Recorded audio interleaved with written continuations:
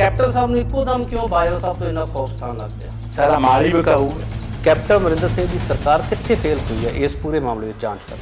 ਨੂੰ ਟੰਗ ਦੇਣਾ ਚਾਹੀਦਾ ਸੀ ਇਹਨਾਂ ਦੀ ਗ੍ਰਿਫਤਾਰੀ ਕਰਨੀ ਚਾਹੀਦੀ ਸੀ। ਸਾਰੇ ਮੰਤਰੀ ਮੇਰੇ ਨਾਲ ਰਹੇ ਨੇ ਸਿੱਧੂ ਨੂੰ ਲਿਆਉਣ ਵਾਲਾ ਪਾਰਟੀ 'ਚ ਮੈਂ।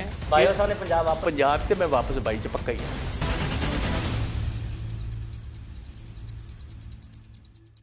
ਜਸ ਟੀਵੀ ਦੇਖ ਰਹੇ ਹੋ ਤੁਸੀਂ ਮੈਂ ਕੇਪੀ ਸਿੰਘ ਤੁਹਾਡਾ ਸਵਾਗਤ ਕਰਦਾ। ਪੰਜਾਬ ਕਾਂਗਰਸ 'ਚ ਇਸ ਵੇਲੇ ਭੁਚਾਲ ਆਇਆ ਹੋਇਆ। ਕੈਪਟਨ ਅਤੇ ਪ੍ਰਤਾਪ ਸਿੰਘ ਬਾਜਵਾ ਦੇ ਵਿਚਾਲੇ ਇੱਕ ਅਜਿਹੀ ਜੰਗ ਛਿੜ ਚੁੱਕੀ ਹੈ ਜਿਸ ਜੰਗ ਦੇ ਵਿਚਾਲੇ ਕੁਝ ਨਵਾਂ ਹੋਣ ਦੀ ਤਾਕ ਹੈ ਜਿਹੜੀ ਸਿਆਸੀ ਜਾਣਕਾਰਾਂ ਨੂੰ ਲੱਗੀ ਹੋਈ ਹੈ। ਤੇ ਪ੍ਰਤਾਪ ਸਿੰਘ ਬਾਜਵਾ ਖੁਦ ਇਸ ਵਕਤ ਸਾਡੇ ਨਾਲ ਮੌਜੂਦ ਹੈ ਕਿ ਹੈ ਉਹਨਾਂ ਗੱਲਬਾਤ ਦਾ ਸਿਲਸਿਲਾ ਕਰਾਂਗੇ ਪ੍ਰਤਾਪ ਸਿੰਘ ਬਾਜਵਾ ਜੀ ਤੁਹਾਡਾ ਬਹੁਤ ਸਵਾਗਤ ਹੈ। ਥੈਂਕ ਯੂ ਜੀ। ਕੀ ਹਾਲ ਹੈ? ਬਾਜਵਾ ਸਾਹਿਬ ਕਾਨੂੰਨ ਤੋਂ ਕਾਦੀਆਂ ਤੱਕ ਪੰਜਾਬ ਤੋਂ ਦਿੱਲੀ ਤੱਕ ਰਾਜ ਸਭਾ ਤੋਂ ਲੋਕ ਸਭਾ ਤੱਕ ਯੂਥ ਕਾਂਗਰਸ ਤੋਂ ਪੰਜਾਬ ਕਾਂਗਰਸੀ ਪ੍ਰਧਾਨਗੀ ਤੱਕ ਸਾਰੇ ਸਫ਼ਰ ਤੁਸੀਂ ਪੂਰੇ ਪੂਰੇ ਕਰ ਲਏ ਆ। ਇੱਕੋ ਤੁਹਾਨੂੰ ਮੁਕਾਮ ਨਹੀਂ ਮਿਲਿਆ ਮੁੱਖ ਮੰਤਰੀ ਦਾ। ਸਾਰੀ ਲੜਾਈ ਉਸੇ ਲਈ ਹੈ ਨਹੀਂ, ਮੇਰੀ ਲੜਾਈ ਕੋਈ ਮੁੱਖ ਮੰਤਰੀ ਦੀ ਨਹੀਂ। ਮੇਰੀ ਲੜਾਈ ਹੈ ਪੰਜਾਬ ਦੇ ਹੱਕਾਂ ਦੀ। ਪੰਜਾਬ ਵੇਖੋ, ਇਸ ਟਾਈਮ ਪ੍ਰਤਾਪ ਸਿੰਘ ਬਾਜਵਾ ਨੂੰ ਕੁਝ ਮਿਲੇ ਨਾ ਮਿਲੇ, ਉਹ ਲੜਾਈ ਨਹੀਂ ਹੈ। ਪ੍ਰਤਾਪ ਸਿੰਘ ਬਾਜਵਾ ਨੇ ਗੁਰੂ ਮਹਾਰਾਜ ਸਾਹਿਬ ਦੀ ਅਪਾਰ ਕਿਰਪਾ ਦੇ ਨਾਲ ਚਾਰ ਮੁੱਖ ਮੰਤਰੀਆਂ ਨਾਲ ਮੈਂ ਕੈਬਨਿਟ ਮਿਨਿਸਟਰ ਰਹਿ ਚੁੱਕਿਆ ਜੀ। ਰੇਅਰੈਸਟ ਆਫ ਆਨਰ ਹੈ ਕਿਸੇ ਕੋਲ ਕਿ ਜਿਹੜਾ ਚਾਰ ਚੀਫ ਮਿਨਿਸਟਰਾਂ ਨਾਲ ਲਗਾਤਾਰ ਕੈਬਨਿਟ ਮਿਨਿਸਟਰ ਰਿਹਾ ਹੈ। 13 14 ਵੱਡੇ ਡਿਪਾਰਟਮੈਂਟਸ ਮੇਰੇ ਕੋਲ ਰਹੇ ਨੇ। ਪੰਜਾਬ ਯੂਥ ਕਾਂਗਰਸ ਦਾ ਅਧਿਕਸ਼ ਵੀ ਰਹਿ ਚੁੱਕੇ ਆ, ਵੱਡੀ ਕਾਂਗਰਸ ਦਾ ਵੀ, ਲੋਕ ਸਭਾ 'ਚ ਵੀ ਰਹਿ ਚੁੱਕਿਆ ਰਾਜ ਸਭਾ 'ਚ ਵੀ। ਲੜਾਈ ਚੀਫ ਮਿਨਿਸਟਰੀ ਦੀ ਨਹੀਂ, ਲੜਾਈ ਹੈ ਪੰਜਾਬ ਨੂੰ ਬਚਾਉਣ ਦੀ।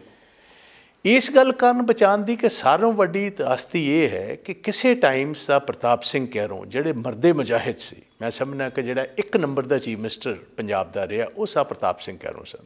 ਸਰਦਾਰ ਪ੍ਰਤਾਪ ਸਿੰਘ ਕਹਿਰੋਂ ਦੀਆਂ ਜਿਹੜੀਆਂ ਫਾਊਂਡੇਸ਼ਨਸ ਰੱਖੀਆਂ ਨੇ, ਉਹ ਅੱਜ ਦੇ ਦਿਨ ਜਿਹੜਾ ਪੰਜਾਬ ਸਰਵਾਈਵ ਕਰ ਰਿਹਾ it is only because of ਇਹ ਤੁਹਾਡੇ ਵੇਖਣ ਵਾਲੇ ਜਿਹੜੇ ਵਿਊਅਰਸ ਨੇ, ਮੈਂ ਉਹਨਾਂ ਨੂੰ ਦੱਸਣਾ ਚਾਹਨਾ ਸਰਦਾਰ ਪ੍ਰਤਾਪ ਸਿੰਘ ਕਹਿਰੋਂ ਇੱਕ ਮਾਮੂਲੀ ਜ਼ਿਮੀਦਾਰ ਘਰਾਣੇ ਵਿੱਚੋਂ ਸੀ। ਐਸਜੀਪੀਸੀ ਦੇ ਖਰਚੇ ਦੇ ਉੱਤੇ ਯੂਨੀਵਰਸਿਟੀ ਆਫ ਕੈਲੀਫੋਰਨੀਆ ਤੋਂ ਮਨੀ- ਉਹਨਾਂ ਨੇ ਬੀਐਸਸੀ ਐਗਰੀਕਲਚਰ ਕੀਤੀ, ਪੰਜਾਬ ਵਿੱਚ ਆਏ ਐਂਡ ਪੰਜਾਬ ਦੀ ਜਿਹੜੀ ਪਹਿਲੀ ਕੰਸੋਲੀਡੇਸ਼ਨ ਹੈ ਰੈਵਨਿਊ ਜ਼ਮੀਨਾਂ ਜਿਹੜੀਆਂ ਇਕੱਠੀਆਂ ਕਰਨੀਆਂ ਕਿਸੇ ਕੋ ਅੱਗੇ 2 ਕਿੱਲੇ ਕਿਤੇ ਸੀ 3 ਕਿੱਲੇ ਕਿਤੇ ਸੀ, ਉਹ ਸਾਰੀ ਕੰਸੋਲੀਡੇਸ਼ਨ ਸਾ ਪ੍ਰਤਾਪ ਸਿੰਘ ਨੇ ਕੀਤੀ। ਜਦੋਂ ਮੁੱਖ ਮੰਤਰੀ ਬਣੇ ਸਾ ਪ੍ਰਤਾਪ ਸਿੰਘ ਕੈਰੋਂ ਦੇ ਮੋਢੇ ਦੇ ਹੱਥ ਸੀ ਪੰਡਿਤ ਜਵਾਹਰ ਲਾਲ ਨਹਿਰੂ ਦਾ। ਤੁਸੀਂ ਕੈਰੋ ਸਾਹਿਬ ਵਰਗਾ ਰਾਜ ਚਾਹੁੰਦੇ ਹੋ? ਨਹੀਂ ਮੈਂ ਉਹਨਾਂ ਤੋਂ ਬਿਨਾ ਮੈਂ ਇਹ ਤੁਹਾਨੂੰ ਦੱਸਣਾ ਕੀ ਚਾਹਨਾ ਸਰ ਪ੍ਰਤਾਪ ਸਿੰਘ ਦੀ ਸੋਚ ਕਰ ਪਖੜਾ ਡੈਮ ਆਇਆ। 3000 ਮੈਗਾਵਾਟ ਬਿਜਲੀ ਉਹ ਸਾਨੂੰ ਪੰਜਾਬ ਨੂੰ ਦਿੰਦੇ ਨੇ। ਤੁਸੀਂ ਕੇਪੀ ਜੀ ਅੱਜ ਹੈਰਾਨ ਹੋਵੋਗੇ। ਮੈਂ ਤੁਹਾਨੂੰ ਹੀ ਪੁੱਛਣਾ ਚਾਹਨਾ ਤੁਸੀਂ ਪੱਤਰਕਾਰ ਹੋ ਕਾਫੀ ਤੁਸੀਂ ਨੌਲੇਜ ਰੱਖਦੇ ਹੋ। ਤੁਹਾਨੂੰ ਪਤਾ ਹੈ ਕਿ ਹਾਈਡਲ ਬਿਜਲੀ ਜਿਹੜੀ ਪਖੜੇ ਦੀ ਉਹ ਸਾਨੂੰ ਕਿੰਨੇ ਦੀ ਪੈ ਰਹੀ ਹੈ? 25 ਪੈਸੇ ਯੂਨਿਟ ਅੱਜ ਬਿਜਲੀ ਪੈ ਰਹੀ ਹੈ ਪਖੜਾ ਦੀ। ਤੇ ਜਿਹੜੇ ਨਵੇਂ ਸਰ ਸੁਖਬੀਰ ਸਿੰਘ ਬਾਦਲ ਮੁੱਖ ਮੰਤਰੀ ਬਣਨਾ ਚਾਹੁੰਦੇ ਨੇ, ਜਿਨ੍ਹਾਂ ਦਾ 10 ਸਾਲ ਰਾਜ ਰਿਹਾ। ਉਹਨਾਂ ਦੇ ਕਾਰਨ ਅੱਜ ਬਿਜਲੀ ਸਾਨੂੰ ਪ੍ਰਾਈਵੇਟ ਥਰਮਲ ਪਲਾਂਟਾਂ ਤੋਂ 9 ਰੁਪਏ ਯੂਨਿਟ ਖਰੀਦਣੀ ਪੈ ਰਹੀ ਹੈ। ਇੱਕ ਪਾਸੇ ਸਰ ਪ੍ਰਤਾਪ ਸਿੰਘ ਕਹਿ ਰਹਾ ਮੈਂ ਥੋੜੀ ਜੀ 5 ਮਿੰਟ ਇਸ ਗੱਲ ਲਏ ਨੇ, ਇੱਕ ਦੂਰੰਦੇਸ਼ ਲੀਡਰ, ਇੱਕ ਛ- ਛੋਟੀ ਸੋਚ ਵਾਲੇ ਲੀਡਰ ਕਿੰਨਾ ਜ਼ਬਰਦਸਤ ਸੂਬੇ ਦਾ ਫਾਇਦਾ ਤੇ ਨੁਕਸਾਨ ਕਰ ਸਕਦੇ ਨੇ। ਸਾਨੂੰ ਅੱਜ ਦੇ ਦਿਨ ਸਾ ਪ੍ਰਤਾਪ ਸਿੰਘ ਦੀ ਬਿਜਲੀ 25 ਪੈਸੇ ਪਰ ਯੂਨਿਟ ਅੱਜ ਦੇ ਦਿਨ ਤੇ ਸੁਖਬੀਰ ਸਿੰਘ ਦੀ ਬਿਜਲੀ ਸਾਨੂੰ 9 ਰੁਪਏ ਯੂਨਿਟ ਪੈ ਰਹੀ ਹੈ। ਤੁਸੀਂ ਹੈਰਾਨ ਹੋਵੋਗੇ ਜਿਹੜਾ ਮੈਂ ਮੁੱਦਾ ਹੁਣ ਨਵਾਂ ਚੁੱਕਿਆ, ਜਿਹਦੇ ਕਾਰਨ ਐਡਾ ਵੱਡਾ ਵਾਲ ਇਹ ਹੋਇਆ ਉਹ ਇਹ ਸੀ ਕਿ ਪਿਛਲੇ 10 ਸਾਲ ਦੇ ਵਿੱਚ ਤਿੰਨ ਥਰਮਲ ਪਲਾਂਟ, ਇੱਕ ਸੋਚੀ ਸਮਝੀ ਸਾਜ਼ਿਸ਼ ਦੇ ਅਧੀਨ ਜਿਹੜੇ ਗਵਰਨਮੈਂਟ ਦੇ ਥਰਮਲ ਸੀ, ਉਹ ਅਸੀਂ ਬੰਦ ਕੀਤੇ। ਸਾ ਸੁਖਬੀਰ ਸਿੰਘ ਬਾਦਲ ਉਹਨਾਂ ਨੇ। ਨਵੇਂ ਪ੍ਰਾਈਵੇਟ ਥਰਮਲ ਪਲਾਂਟ ਲੈ ਕੇ ਆਂਦੇ। ਪਹਿਲੀ ਗੱਲ ਪੰਜਾਬ ਨੂੰ ਕਹੀ ਕਿ ਪੰਜਾਬ ਨੂੰ ਮੈਂ ਪਾਵਰ ਸਰਪਲਸ ਕਰਨਾ ਚਾਹੁੰਦਾ। ਇੱਕ ਇਹੋ ਜਿਹਾ ਸੂਬਾ ਬਣਾਵਾਂ ਜਿੱਥੇ ਬਿਜਲੀ ਕਦੀ ਜਾਏ ਹੀ ਨਾ। ਸਾਡੇ ਕੋਲ ਸਰਪਲਸ ਬਿਜਲੀ ਇਹ ਮੁੱਦਾ ਬਿਜਲੀ ਦਾ ਸਿਰਫ। ਹਾਂ। ਸਿਰਫ ਮੁੱਦਾ ਬਿਜਲੀ ਦਾ ਜਿੰਦੇ ਕਰਕੇ ਸਾਰਾ ਮਾਮਲਾ ਪਖਿਆ ਨਹੀਂ ਇਸ ਟਾਈਮ ਮੁੱਦਾ ਬਿਜਲੀ ਦਾ ਤੇ ਜਿਹੜੇ ਬੇਅਦਬੀਆਂ ਹੋਈਆਂ ਇਹ ਦੋ ਮੁੱਦੇ ਵੱਡੇ ਮੁੱਦੇ ਨੇ ਬਾਕੀ ਦੇ ਮੁੱਦੇ ਤਾਂ ਬਹੁਤ ਸਾਰੇ ਹੋਰ ਜਿਹੜਾ ਬਿਜਲੀ ਤੇ ਕੈਪਟਨ ਸਰਕਾਰ ਨੇ ਜਿਹੜਾ ਸੁਪਰੀਮ ਕੋਰਟ ਵਿੱਚ ਹਲਫਨਾਮਾ ਦਿੱਤਾ ਹਾਂਜੀ। ਤੁਸੀਂ ਉਸ ਬਾਰੇ ਕੀ ਕਹਿਣਾ ਚਾਹੁੰਦੇ ਹੋ ਵੇਖੋ ਮੈਨੂੰ ਉਹਦੇ ਬਾਰੇ ਜਾਣਕਾਰੀ ਜ਼ਿਆਦਾ ਨਹੀਂ ਕਿਉਂਕਿ ਮੈਂ ਕੋਈ ਵਕੀਲ ਨਹੀਂ ਜਾਂ ਮੈਂ ਪੰਜਾਬ ਵੱਲੋਂ ਲੜਦਾ ਨਹੀਂ ਬਟ ਜੋ ਕੁਝ ਮੈਨੂੰ ਪਤਾ ਲੱਗਾ ਉਹ ਸਹੀ ਮੈਨੇ ਦੇ ਵਿੱਚ ਜਿਸ ਕਿਸਮ ਦੀ ਉਥੇ ਪੈਰਵਾਈ ਕਰਨੀ ਚਾਹੀਦੀ ਸੀ ਐਡਵੋਕੇਟ ਜਨਰਲ ਆਫਿਸ ਨੂੰ ਨਹੀਂ ਹੋਈ। ਅਸੀਂ ਉਹ ਕੇਸ ਲੂਜ਼ ਕੀਤਾ, ਤੁਹਾਨੂੰ ਮੈਂ ਕੇਪੀ ਜੀ ਦੱਸਣਾ ਚਾਹੁੰਦਾ, ਹੈਰਾਨੀ ਵਾਲੀ ਗੱਲ। 15 ਸਾਲ ਅੱਤਵਾਦ ਦੇ ਵਿੱਚ ਟੋਟਲ ਕਰਜ਼ਾ ਪੰਜਾਬ ਤੇ ਚੜਿਆ 5000 ਕਰੋੜ ਦਾ।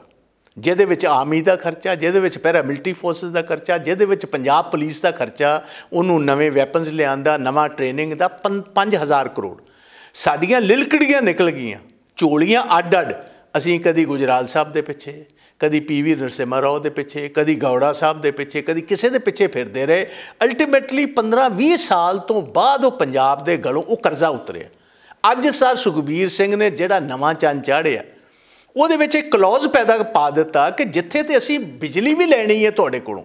ਅਗਲੇ 25 ਸਾਲ ਵਾਸਤੇ ਉਹਨਾਂ ਨੇ ਕਹਿ ਦਿੱਤਾ ਕਮਿਟਮੈਂਟ ਕਰ ਦਿੱਤੀ ਗਵਰਨਮੈਂਟ ਆਫ ਪੰਜਾਬ ਜੋ ਦੀ। ਤਾਂ ਕਹਿ ਰਹੇ ਸੀਬੀਆਈ ਦੀ ਇਨਕੁਆਇਰੀ ਹੋਣੀ ਚਾਹੀਦੀ। ਮੇਰੀ 2 ਮਿੰਟ ਪਹਿਲੇ ਮੇਰੀ ਗੱਲ ਕੱਟਣ ਦੀ ਕੋਸ਼ਿਸ਼ ਨਾ ਕਰੋ ਲੋਕਾਂ ਨੂੰ ਸਮਝਣ ਲੈਣ ਦਿਓ ਮੁੱਦੇ ਨੂੰ।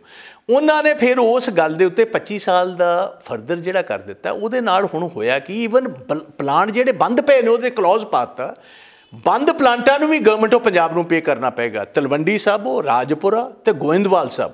ਅਸੀਂ 3000 ਕਰੋੜ ਰੁਪਈਆ ਬੰਦ ਪਲਾਂਟਾਂ ਨੂੰ ਦਿੱਤਾ। ਠੀਕ ਹੈ ਬਾਜਵਾ ਸਾਹਿਬ। 1300 ਕਰੋੜ ਰੁਪਈਆ ਸੁਪਰੀਮ ਕੋਰਟ ਦੇ ਹੁਕਮਾਂ ਨਾਲ ਆਉਣ ਵਾਲਾ ਹੈ। ਬਿਲਕੁਲ ਹੁਣ ਅਗਲੀ ਗੱਲ ਤੇ ਆਪਾਂ ਜਿਹੜੀ। ਗੱਲ ਤੁਸੀਂ ਕਹਿ ਰਹੇ ਹੋ ਨਾ ਜਿਹੜੀ ਗੱਲ ਤੁਸੀਂ ਕਹਿ ਰਹੇ ਪੰਜਾਬ ਦੇ ਲੋਕਾਂ ਨੂੰ ਸਮਝਣਾ ਚਾਹੀਦਾ ਹਾਂ। ਉਹ ਸਮਝਾਉਣਾ ਹੈਗਾ। ਤੁਸੀਂ ਵਾਰ-ਵਾਰ ਸਮਝਾ ਚੁੱਕੇ ਹੋ। ਤੁਹਾਡੀ ਗੱਲ ਹੈ ਜਿਹੜੀ ਉਹ ਸੱਥਾਂ ਤੱਕ ਪਹੁੰਚ ਚੁੱਕੀ ਹੈ ਇਸ ਕਰਕੇ ਮੀਡੀਆ ਤੁਹਾਡੇ ਕੋਲੇ ਆ ਰਿਹਾ ਵਾਰ-ਵਾਰ ਸਵਾਲ ਜਿਹੜਾ ਸਵਾਲ ਤੁਸੀਂ ਬੀਬੀਐਮਬੀ ਦਾ ਕੀਤਾ ਉਦੋਂ ਦੇ ਹਾਲਾਤ ਤੇ ਹੁਣ ਦੇ ਹਾਲਾਤ ਕੰਜ਼ੰਪਸ਼ਨ ਹੈ ਜਿਹੜੀ ਪੰਜਾਬ ਦੀ ਪਤੀ ਹੈ ਉਹ ਵੀ ਸਾਨੂੰ ਸੋਚਣਾ ਪਵੇਗਾ। ਪ੍ਰਤਾਪ ਸਿੰਘ ਕੈਰੋ ਵਰਗਾ ਰਾਜ ਹੈ ਜਿਹੜਾ ਅੱਜ ਨਹੀਂ ਮਿਲ ਰਿਹਾ ਉਸ ਬਾਰੇ ਵੀ ਸਾਨੂੰ ਸੋਚਣਾ ਪਵੇਗਾ। ਬਾਇਓ ਸਾਹਿਬ ਸਵਾਲ ਇਹ ਹੈਗਾ ਕਿ ਤੁਸੀਂ ਬਿਜਲੀ ਦੇ ਮੁੱਦੇ ਤੇ ਇਹ ਸਵਾਲ ਕਰਦੇ ਹੋ ਤੇ ਤੁਹਾਡੀ ਪਾਰਟੀ ਦੇ ਹੀ ਲੀਡਰ ਕਹਿ ਰਹੇ ਆ ਕਿ ਤੁਸੀਂ ਅਕਾਲੀ ਦਲ ਤੇ ਆਮ ਆਦਮੀ ਪਾਰਟੀ ਦੇ ਹੱਥਾਂ ਵਿੱਚ ਖੇਡਦੇ ਹੋ। ਗੱਲ ਸੁਣੋ, ਪ੍ਰਤਾਪ ਸਿੰਘ ਬਾਜਵਾ, ਉਹਨਾਂ ਦੇ ਹੱਥਾਂ 'ਚ ਕਿਸ ਤਰ੍ਹਾਂ ਖੇਡ ਰਹੇ ਹੋ ਜੀ? ਮੈਂ ਕੀ ਮੰਗ ਕਰ ਰਿਹਾ?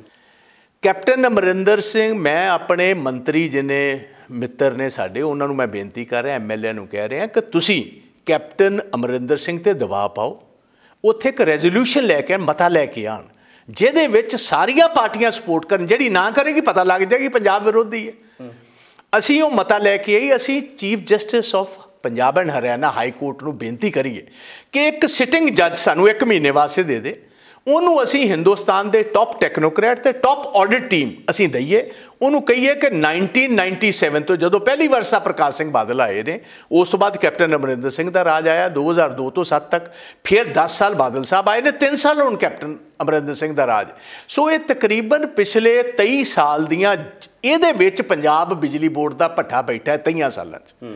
ਕਿਸੇ ਟਾਈਮ ਤੇ ਨੰਬਰ 1 ਬਿਜਲੀ ਬੋਰਡ ਪੰਜਾਬ ਜਿਹੜਾ ਸੀ ਇਹ ਹੁੰਦਾ ਸੀ। ਮੈਂ ਕਹਿ ਰਿਹਾ ਕਿ ਇਹਨਾਂ ਸਾਲਾਂ ਵਿੱਚ ਤਾਂ ਤੁਸੀਂ ਵੀ ਮੰਤਰੀ ਰਹੇ ਹੋ। ਤਾਂ ਮੈਂ ਕਦੋਂ ਕਹਿ ਰਿਹਾ? ਨਹੀਂ ਰਹੇ। ਮੈਂ ਤੇ ਕਿਹਾ ਇਹਦਾ ਆਡਿਟ ਕਰਾਓ।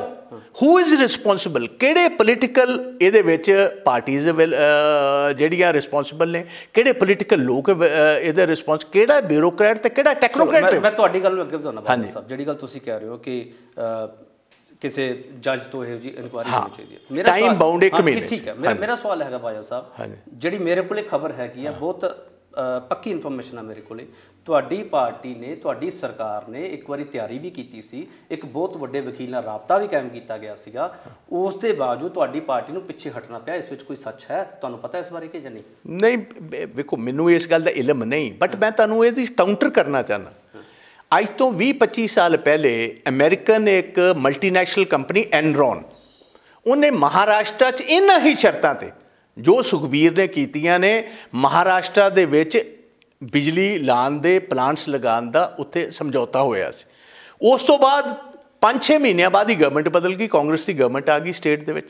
ਉਹਨਾਂ ਨੇ ਸਾਰੇ ਪਿਛਲੇ ਮੌਦੇ ਜਿਹੜੇ ਸੀ, ਰੱਦ ਕਰ ਦਿੱਤੇ ਸੀ। ਅਮਰੀਕਨ ਗਵਰਨਮੈਂਟ ਨੇ ਗਵਰਨਮੈਂਟ ਆਫ ਇੰਡੀਆ ਤੇ ਪ੍ਰੈਸ਼ਰ ਵੀ ਪਾਇਆ ਬਟ ਗਵਰਨਮੈਂਟ ਆਫ ਇੰਡੀਆ ਨੇ ਉਸ ਨੂੰ ਮੰਨਿਆ ਨਹੀਂ, ਮਹਾਰਾਸ਼ਟਰ ਦੀ ਗਵਰਨਮੈਂਟ ਨੇ ਰੱਦ ਕਰ ਦਿੱਤਾ। ਪੰਜਾਬ ਗਵਰਨਮੈਂਟ ਕੋ ਪੂਰਨ ਹੱਕ ਹੈ। ਇਹ ਸਾਰੇ ਮੁਆਦੇ ਕੈਨਸਲ ਕਰਨ ਦੇ। ਹੋ ਸਕਦੇ ਆ ਕੈਂਸਰ 100% ਹੋ ਸਕਦਾ। ਤੁਸੀਂ ਜਿਹੜੀ 25 ਪੈਸੇ ਦੀ ਗੱਲ ਕਰਦੇ ਪਏ ਸੁਖਬੀਰ ਸਿੰਘ ਬਾਦਲ ਕਹਿੰਦੇ ਆ ਕਿ 2 ਰੁਪਏ 86 ਪੈਸੇ ਵੀ ਸਾਨੂੰ ਬਿਜਲੀ ਮਿਲ ਸਕਦੀ ਹੈ। ਪਰ ਉਸ ਦੇ ਬਾਵਜੂਦ ਜਿਹੜੀ ਕੈਪਟਨ ਸਰਕਾਰ ਦੀ ਨਾਕਾਮੀ ਹੈ ਇਸ ਕਰਕੇ ਸਾਨੂੰ ਬਿਜਲੀ ਮਹਿੰਗੀ ਨਹੀਂ ਨਹੀਂ ਵੇਖੋ ਹੁਣ ਕੀ ਹੋ ਰਿਹਾ ਉਲਟਾ ਚੋਰ ਕੁਤਵਾਲ ਨੂੰ ਡਾਂਟ ਰਿਹਾ। 3 ਸਾਲ ਬੀਤਣ ਤੋਂ ਬਾਅਦ ਜਦੋਂ ਉਹਨੇ ਵੇਖਿਆ ਕਿ ਹੁਣ ਇਹ ਕਰ ਕੁਝ ਨਹੀਂ ਰਹੇ ਉਹ ਵੀ ਸ਼ੇਰ ਹੋ ਗਿਆ। ਉਹਨੇ ਨਵੀਂ ਪੋਜੀਸ਼ਨਿੰਗ ਸ਼ੁਰੂ ਕਰ ਲਈ ਪੰਜਾਬ ਨੂੰ ਦੱਸਣ ਵਾਸਤੇ ਕਿ ਇਹਦੇ ਮੇਰਾ ਕੋਈ ਕਸੂਰ ਨਹੀਂ ਹੈ ਕੈਪਟਨ ਦਾ। ਮੈਂ ਤੁਹਾਨੂੰ ਇੱਥੇ ਇੱਕ ਚਿੱਠੀ ਵਿਖਾਣਾ ਚਾਹਨਾ ਤੁਹਾਡੇ ਟੀਵੀ ਚੈਨਲ ਤੇ। 2017 ਮਾਰਚ ਦੇ ਵਿੱਚ ਕੈਪਟਨ ਅਮਰਿੰਦਰ ਸਿੰਘ ਦੀ ਗਵਰਨਮੈਂਟ ਬਣੀ ਨਵੀਂ। ਅਪ੍ਰੈਲ 11 ਤਰੀਕ ਨੂੰ ਕੈਪਟਨ ਅਮਰਿੰਦਰ ਸਿੰਘ ਜੀ ਬੰਬੇ ਜਾਂਦੇ ਨੇ। ਇਹਨਾਂ ਦੀ ਟੌਪ ਇੰਡਸਟਰੀਲਿਸਟਾਂ ਨਾਲ ਮੀਟਿੰਗ ਹੁੰਦੀ ਹੈ ਉਹਦੇ ਵਿੱਚ ਅਨਿਲ ਅੰਬਾਨੀ ਇਹਨਾਂ ਨੂੰ ਇਹ ਗੱਲ ਕਹਿੰਦੇ ਨੇ ਕਿ ਕੈਪਟਨ ਸਾਹਿਬ, ਤੁਸੀਂ ਬਹੁਤ ਮਹਿੰਗੀ ਬਿਜਲੀ ਲੈ ਰਹੇ ਹੋ। ਪੰਜਾਬ ਦੇ ਖਜ਼ਾਨੇ ਨੂੰ ਬਹੁਤ ਵੱਡਾ ਖੋਰਾ ਪੈ ਰਿਹਾ। ਮੈਂ ਤੁਹਾਨੂੰ 1 ਰੁਪਏ 75 ਪੈਸੇ ਪਰ ਯੂਨਿਟ ਬਿਜਲੀ ਦੇਣ ਨੂੰ ਤਿਆਰ ਹਾਂ। ਤੋ ਆ ਮੈਂ ਤੁਹਾਨੂੰ ਇੱਕ ਪੈਰਾ ਪੜ੍ਹ ਦੇਣਾ during his breakfast meeting with captain Amarinder ਇਹ ਪੰਜਾਬ ਗਵਰਨਮੈਂਟ ਦਾ ਪ੍ਰੈਸ ਨੋਟ ਹੈ ਇਹ ਮੇਰਾ ਪ੍ਰੈਸ ਨੋਟ ਨਹੀਂ। ਉਹਦੇ 'ਚ ਲਿਖਿਆ ਹੈ during his uh, breakfast meeting with Captain Amrinder, Anil Ambani pointing to the huge losses incurred by Punjab due to purchase of power at high cost, offered power to the state at rupees 1.75 per unit.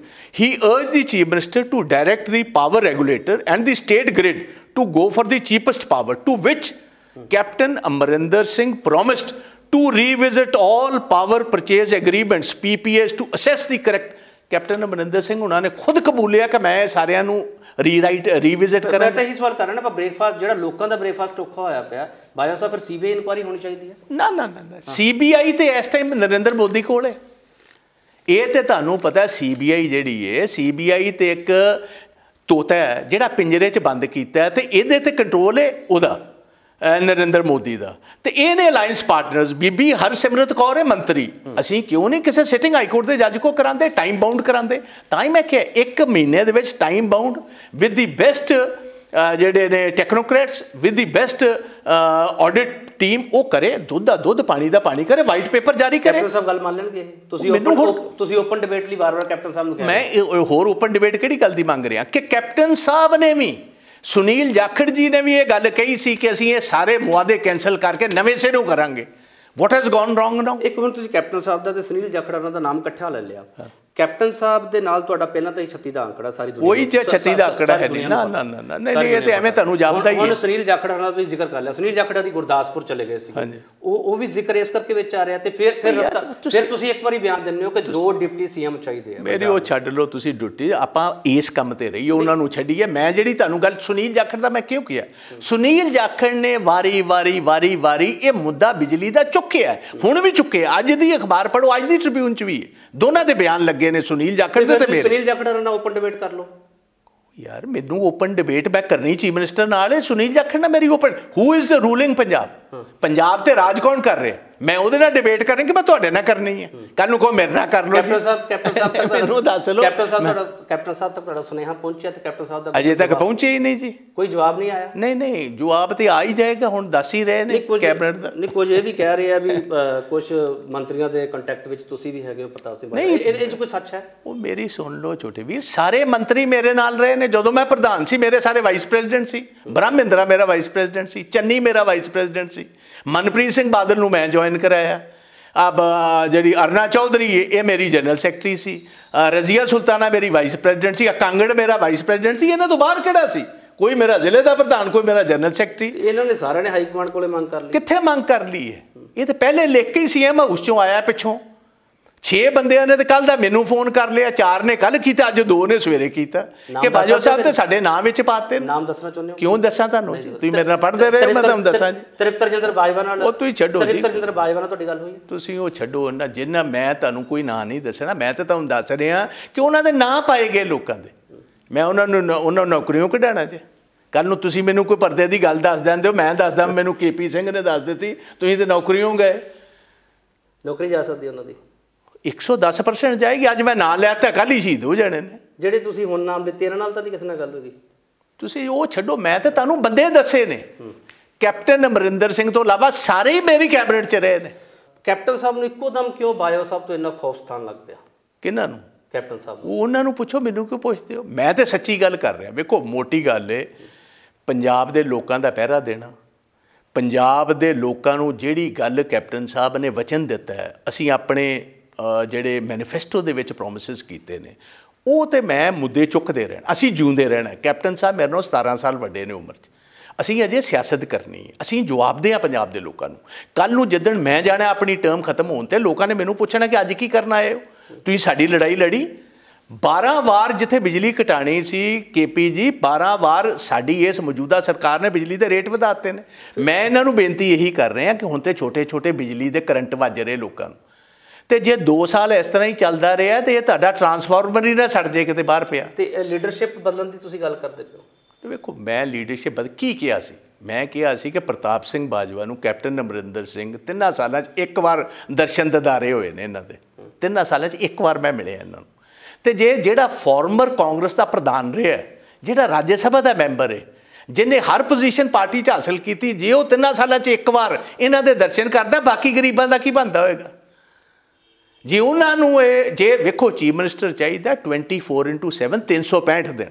ਜੇ ਮਹੀਨੇ 'ਚ ਇੱਕ ਦਿਨ ਤੁਸੀਂ ਦਰਸ਼ਨ ਦੇਣੇ ਨੇ ਤੇ ਫਿਰ ਮੁਸ਼ਕਲ ਹੋ ਜਾਏਗੀ। ਜੇ ਲੀਡਰਸ਼ਿਪ ਬਦਲਣੀ ਤਾਂ ਫਿਰ ਲੀਡਰ ਕੌਣ ਹੋਣਾ ਚਾਹੀਦਾ? ਨਹੀਂ ਉਹ ਨਹੀਂ, ਮੈਂ ਇਸ ਗੱਲ ਦਾ ਨਹੀਂ ਮੈਂ ਤੇ ਮੈਂ ਵੀ ਇਹਨਾਂ ਤੱਕ ਛੱਡੀ ਹੈ ਮੈਂ ਉਹ ਵੀ ਨਹੀਂ ਕਿਹਾ ਕਿ ਉੱਤੋਂ ਕਹਿ- ਜੇ ਬਦਲੋ ਉਹ ਕਹਿਣ ਹਾਈ ਕਮਾਂਡ ਕਵੇ ਪ੍ਰਤਾਪ ਸਿੰਘ ਬਾਜਵਾ ਨਹੀਂ, ਨਹੀਂ। ਸਵਾਲ ਤਾਂ ਸੁਣ ਲਓ ਬਾਜਵਾ ਸਾਹਿਬ। ਮੈਨੂੰ ਕਹਿਣ- ਜੇ ਉਹ ਕਹਿਣ ਪ੍ਰਤਾਪ ਸਿੰਘ ਬਾਜਵਾ ਲੀਡਰ ਹੋਣਗੇ ਪੰਜਾਬ। ਹਾਂਜੀ। ਤੁਹਾਨੂੰ ਬਾਅਦ ਚ ਚੋਣਾਂ ਵੀ ਲੜਾ ਦੇਣ ਜਾਂ ਕੁਝ ਵੀ ਕਰ ਦੇਣ। ਜਾਂ ਨਵਜੋਤ ਸਿੰਘ ਸਿੱਧੂ ਦਾ ਨਾਮ ਉਹ ਪ੍ਰਪੋਜ਼ ਕਰਨਾ।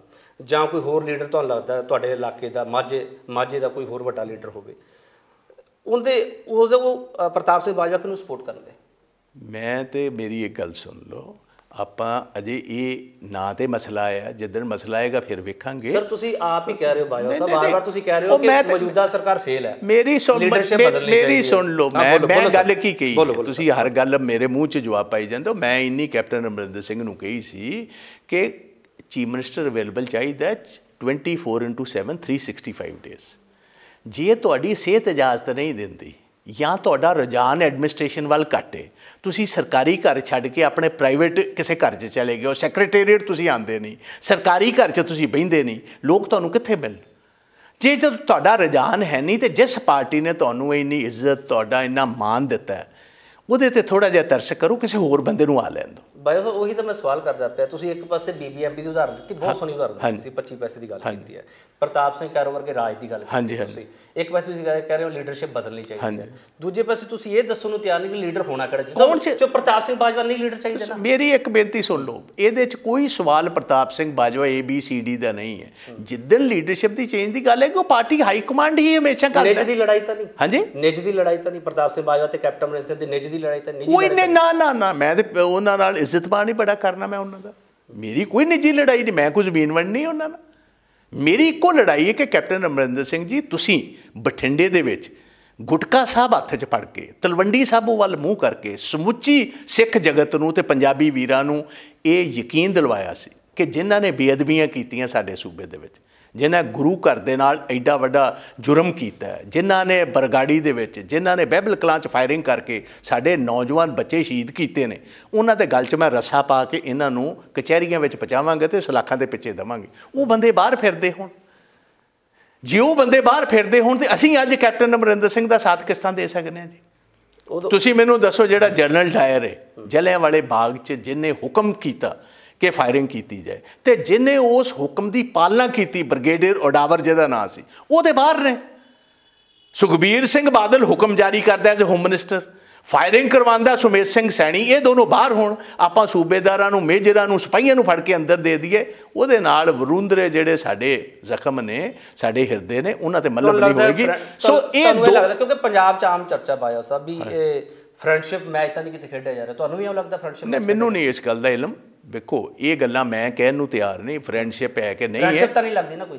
ਨਾ ਮੈਨੂੰ ਇਸ ਗੱਲ ਦਾ ਕੀ ਇਲਮ ਮੈਂ ਤੇ ਇੱਥੇ ਹੈ ਹੀ ਨਹੀਂ ਮੈਂ ਤੇ ਪੰਜਾਬ ਮੈਂ ਤੇ ਤੁਹਾਡੇ ਵਰਗਾ ਦੂਰੋਂ ਜਿਸ ਤਰ੍ਹਾਂ ਤੁਸੀਂ ਦੂਰੋਂ ਸਾਰਾ ਸਿਨੈਰੀਓ ਵੇਖ ਦੋ ਮੈਂ ਬਾਹਰ ਬੈਠਾ ਵੇਖਣਾ ਅਸੀਂ ਤਾਂ ਇਹ ਬੜੇ ਬੜੇ ਨੇੜੋਂ ਦੇਖਦੇ ਪਏ ਨਹੀਂ ਨਹੀਂ ਨਹੀਂ ਬਾਇਓ ਸਾਹਿਬ ਨੇ ਪੰਜਾਬ ਵਾਪਸ ਮੇਰੀ ਨਹੀਂ ਪੰਜਾਬ ਤੇ ਮੈਂ ਵਾਪਸ ਬਾਈ ਚ ਪੱਕਾ ਹੀ ਆਉਂਗਾ ਪੱਕਾ ਹੋਣਾ। ਹਾਂ 100% ਦੀ ਮੈਂ ਆਣਾ ਹੀ ਆਣਾ ਹੁਣ ਇਹ ਦਿੱਲੀ ਦਾ ਖੜਾ ਛੱਡ ਦੇਣਾ ਸਿੱਧੂ ਸਾਹਿਬ ਵੀ ਕਹਿ ਰਹੇ ਆ ਕਿ ਵਾਪਸ ਹੋਣਾ। ਸਿੱਧੂ ਸਾਹਿਬ ਤੇ ਹੈ ਹੀ ਇੱਥੇ ਨੂੰ ਤੇ ਅੰਮ੍ਰਿਤਸਰ ਬੈਠੇ ਉਹ ਕਦੋਂ ਕਿਤੇ ਗਏ ਨੇ ਬਾਹਰ? ਨਹੀਂ ਹੁਣ ਸਿੱਧੂ ਸਾਹਿਬ ਤੇ ਬਾਇਓ ਸਾਹਿਬ ਚ ਵਾਪਸ ਅਸਲ ਵਿੱਚ ਪੰਜਾਬ ਚ ਕੌਣ ਆਊਗਾ? ਨਹੀਂ ਸਾਰੇ ਹੀ ਆਣਗੇ। ਜੇ ਇਸ ਮੈਦਾਨ ਦੇ ਵਿੱਚ ਰਹਿਣਾ ਪਏਗਾ ਤੇ ਸਾਰੇ ਹੀ ਆਣਗੇ। ਬਾਇਓ ਸਾਹਿਬ ਤੇ ਸਿੱਧੂ ਸਾਹਿਬ ਇਕੱਠੇ ਖੜਨਗੇ। 110% ਸਿੱਧੂ ਨੂੰ ਲਿਆਉਣ ਵਾਲਾ ਪਾਰਟੀ 'ਚ ਮੈਂ। ਤੁਹਾਨੂੰ ਪਤਾ ਹੈ ਜਦੋਂ ਨਵਜੋਤ ਸਿੰਘ ਸਿੱਧੂ ਆਣਾ ਚਾਹੁੰਦਾ ਸੀ ਕੈਪਟਨ ਅਮਰਿੰਦਰ ਸਿੰਘ ਵਿਰੋਧਤਾ ਕਰਦਾ ਸੀ ਉਹਦੀ ਆਉਣ ਦੀ। ਇਹਨੂੰ ਫੈਸਿਲਿਟੇਟ ਹੀ ਮੈਂ ਕੀਤਾ ਜੇ ਹਾਈ ਕਮਾਂਡ ਕਹਿੰਦੀ ਹੈ- ਮਨਪ੍ਰੀਤ ਬਾਦਲ ਨੂੰ ਲੈ ਕੇ ਮੈਂ ਤੇ ਜੇ ਹਾਈ ਕਮਾਂਡ ਕਵੇ ਕਿ ਮਨਪ੍ਰੀਤ ਬਾਦਲ ਜਾਂ ਨਵਜੋਤ ਸਿੰਘ ਸਿੱਧੂ ਤੋਂ ਕਿਸੇ ਨੂੰ ਪੰਜਾਬ ਦੀ ਕਮਾਨ ਸੌਂਪ ਦਿੰਦੇ ਆ। ਬਾਇਓ ਸਾਹਿਬ ਸਪੋਰਟ ਕਰਨਗੇ। ਹਾਈ ਕਮਾਂਡ ਕਹੇਗੀ ਤੇ ਮੈਂ ਤੁਹਾਨੂੰ ਕਰਨ ਨੂੰ ਤਿਆਰ ਹਾਂ ਤੁਸੀਂ ਤੇ ਨਵਜੋਤ ਸਿੰਘ ਸਿੱਧੂ ਤੱਕ ਪਹੁੰਚੇ ਹੋ। ਮੈਨੂੰ ਉਹ ਕਹਿ ਦੇਣ ਕਿ ਕੇਪੀ ਸਿੰਘ ਦੀ ਕਰੋ ਜੀ। ਜਿਹੜਾ ਜਸ ਟੀਵੀ ਦੇ ਵਿੱਚ ਮੈਂ ਉਹਦੀ ਕਰਨ ਨੂੰ ਤਿਆਰ ਹਾਂ ਤੁਸੀਂ ਮਨਪ੍ਰੀਤ ਸਿੰਘ ਦੀ ਤੇ ਇਹਦੀ ਗੱਲ ਕਰੀ ਜਾਂਦੇ ਹੋ। ਮੈਂ ਤੁਹਾਡੀ ਕਰਨ ਨੂੰ ਤਿਆਰ ਹਾਂ। ਤੁਹਾਨੂੰ ਪੱਗ ਬਣਾਵਾਂਗੇ ਦਾੜੀ ਲਵਾਵਾਂਗੇ ਤੇ ਤੁਹਾਨੂੰ ਲੈ ਬੜਾ ਆਵਾਂਗੇ ਲੰਬਾ ਤਜਰਬਾ ਤੁਹਾਡਾ ਬਾਇਓ ਸਾਹਿਬ ਤੁਸੀਂ ਇਹ ਗੱਲਾਂ ਕਰ ਸਕਦੇ ਹੋ। ਬਾਇਓ ਸਾਹਿਬ ਸਵਾਲ ਇਹ ਫਿਰ ਉੱਠਦਾ ਹੈ ਕਿ ਜਦੋਂ ਤੁਸੀਂ ਪੀਡਬਲਯੂਡੀ ਮਿਨਿਸਟਰ ਰਹੇ ਹੋ ਹਾਂਜੀ। ਜਾਂ ਉਸ ਤੋਂ ਪਹਿਲਾਂ ਤੁਸੀਂ ਰਾਜ ਮੰਤਰੀ ਰਹੇ ਹੋ ਉਸ ਤੋਂ ਬਾਅਦ ਤੁਸੀਂ ਕੈਬਨਿਟ ਮੰਤਰੀ ਰਹੇ ਹੋ। ਸਵਾਲ ਇਹ ਹੈਗਾ ਕਿ ਜਿਹੜਾ ਤੁਹਾਡੇ ਮਹਿਕਮੇ ਵੇਲੇ ਪੀਡਬਲਯੂ ਦੇ ਮਹਿਕਮੇ ਵੇਲੇ ਜਿਹੜੀਆਂ ਕੁਝ ਕਥਿਤ ਘੁਟਾਲੇ ਦੀਆਂ ਗੱਲਾਂ ਕੀਤੀਆਂ ਗਈਆਂ ਕਿਤੇ ਉਹ ਮਸਲਾ ਤਾਂ ਨਹੀਂ ਹੈਗਾ ਸਾਰਾ? ਕਿਹੜਾ ਘੁਟਾਲਾ ਹੈ ਜੀ? ਮੈਨੂੰ ਦੱਸੋ। ਲੋਕ ਘੁਟਾਲੇ ਦੀ ਜਦੋਂ ਗੱਲ ਹੁੰਦੀ ਸੀ। ਉਹ ਲੋਕ ਘੁਟਾਲਾ ਤੇ ਉਹ ਸੁੱਚਾ ਸਿੰਘ ਲੰਗਾ ਦਾ ਹੀ ਸਾਡਾ ਥੋੜਾ ਸੀ। ਕੋਈ ਕੇਸ ਕੋਈ ਰਜਿਸਟਰ ਕੋਈ ਕੰਪਲੇਂਟ ਕੋਈ ਕੱਢੋ ਤੇ ਸਹੀ। ਐਵੇਂ ਗੱਲੀ ਬਾਤੀ ਨਾ ਨਾ ਗੱਲ ਕਰੀ ਚਲੋ ਆਪਾਂ ਕੋਈ ਗੱਲ ਤੱਥਾਂ ਤੇ ਆਧਾਰਿਤ ਕਰਿਆ ਜਿਹੜਾ ਫਿਰ ਕੈਪਟਨ ਸਾਹਿਬ ਨੇ ਤੁਹਾਡੇ ਜਦੋਂ ਇੱਕ ਚਿੱਠੀ ਲਿਖੀ ਹੈ ਹਾਈ ਕਮਾਨ ਨੂੰ ਉਸ ਚਿੱਠੀ ਦਾ ਮਸਲਾ ਤਾਂ ਨਹੀਂ ਹੈਗਾ? ਡਰੱਗ ਤਸਕਰਾਂ ਵਾਲੀ ਚਿੱਠੀ ਦਾ ਮਸਲਾ ਤਾਂ ਮੇਰੀ ਗੱਲ ਸੁਣੋ ਡਰੱਗ ਤਸਕ ਸਾਰੀ ਲੜਾਈ ਡਰੱਗਸ ਦੇ ਅਗੇਂਸਟ ਪ੍ਰਤਾਪ ਸਿੰਘ ਬਾਜਵਾ ਨੇ ਖੜੀ ਕੀਤੀ। ਅੱਜ ਜੋ ਅੱਜ- ਅੱਜ ਜੋ ਅਕਾਲੀ ਦਲ ਦਾ ਹਾਲ ਹੈ ਉਹ ਪ੍ਰਤਾਪ ਸਿੰਘ ਬਾਜਵਾ ਨੇ ਕੀਤਾ ਹੈ।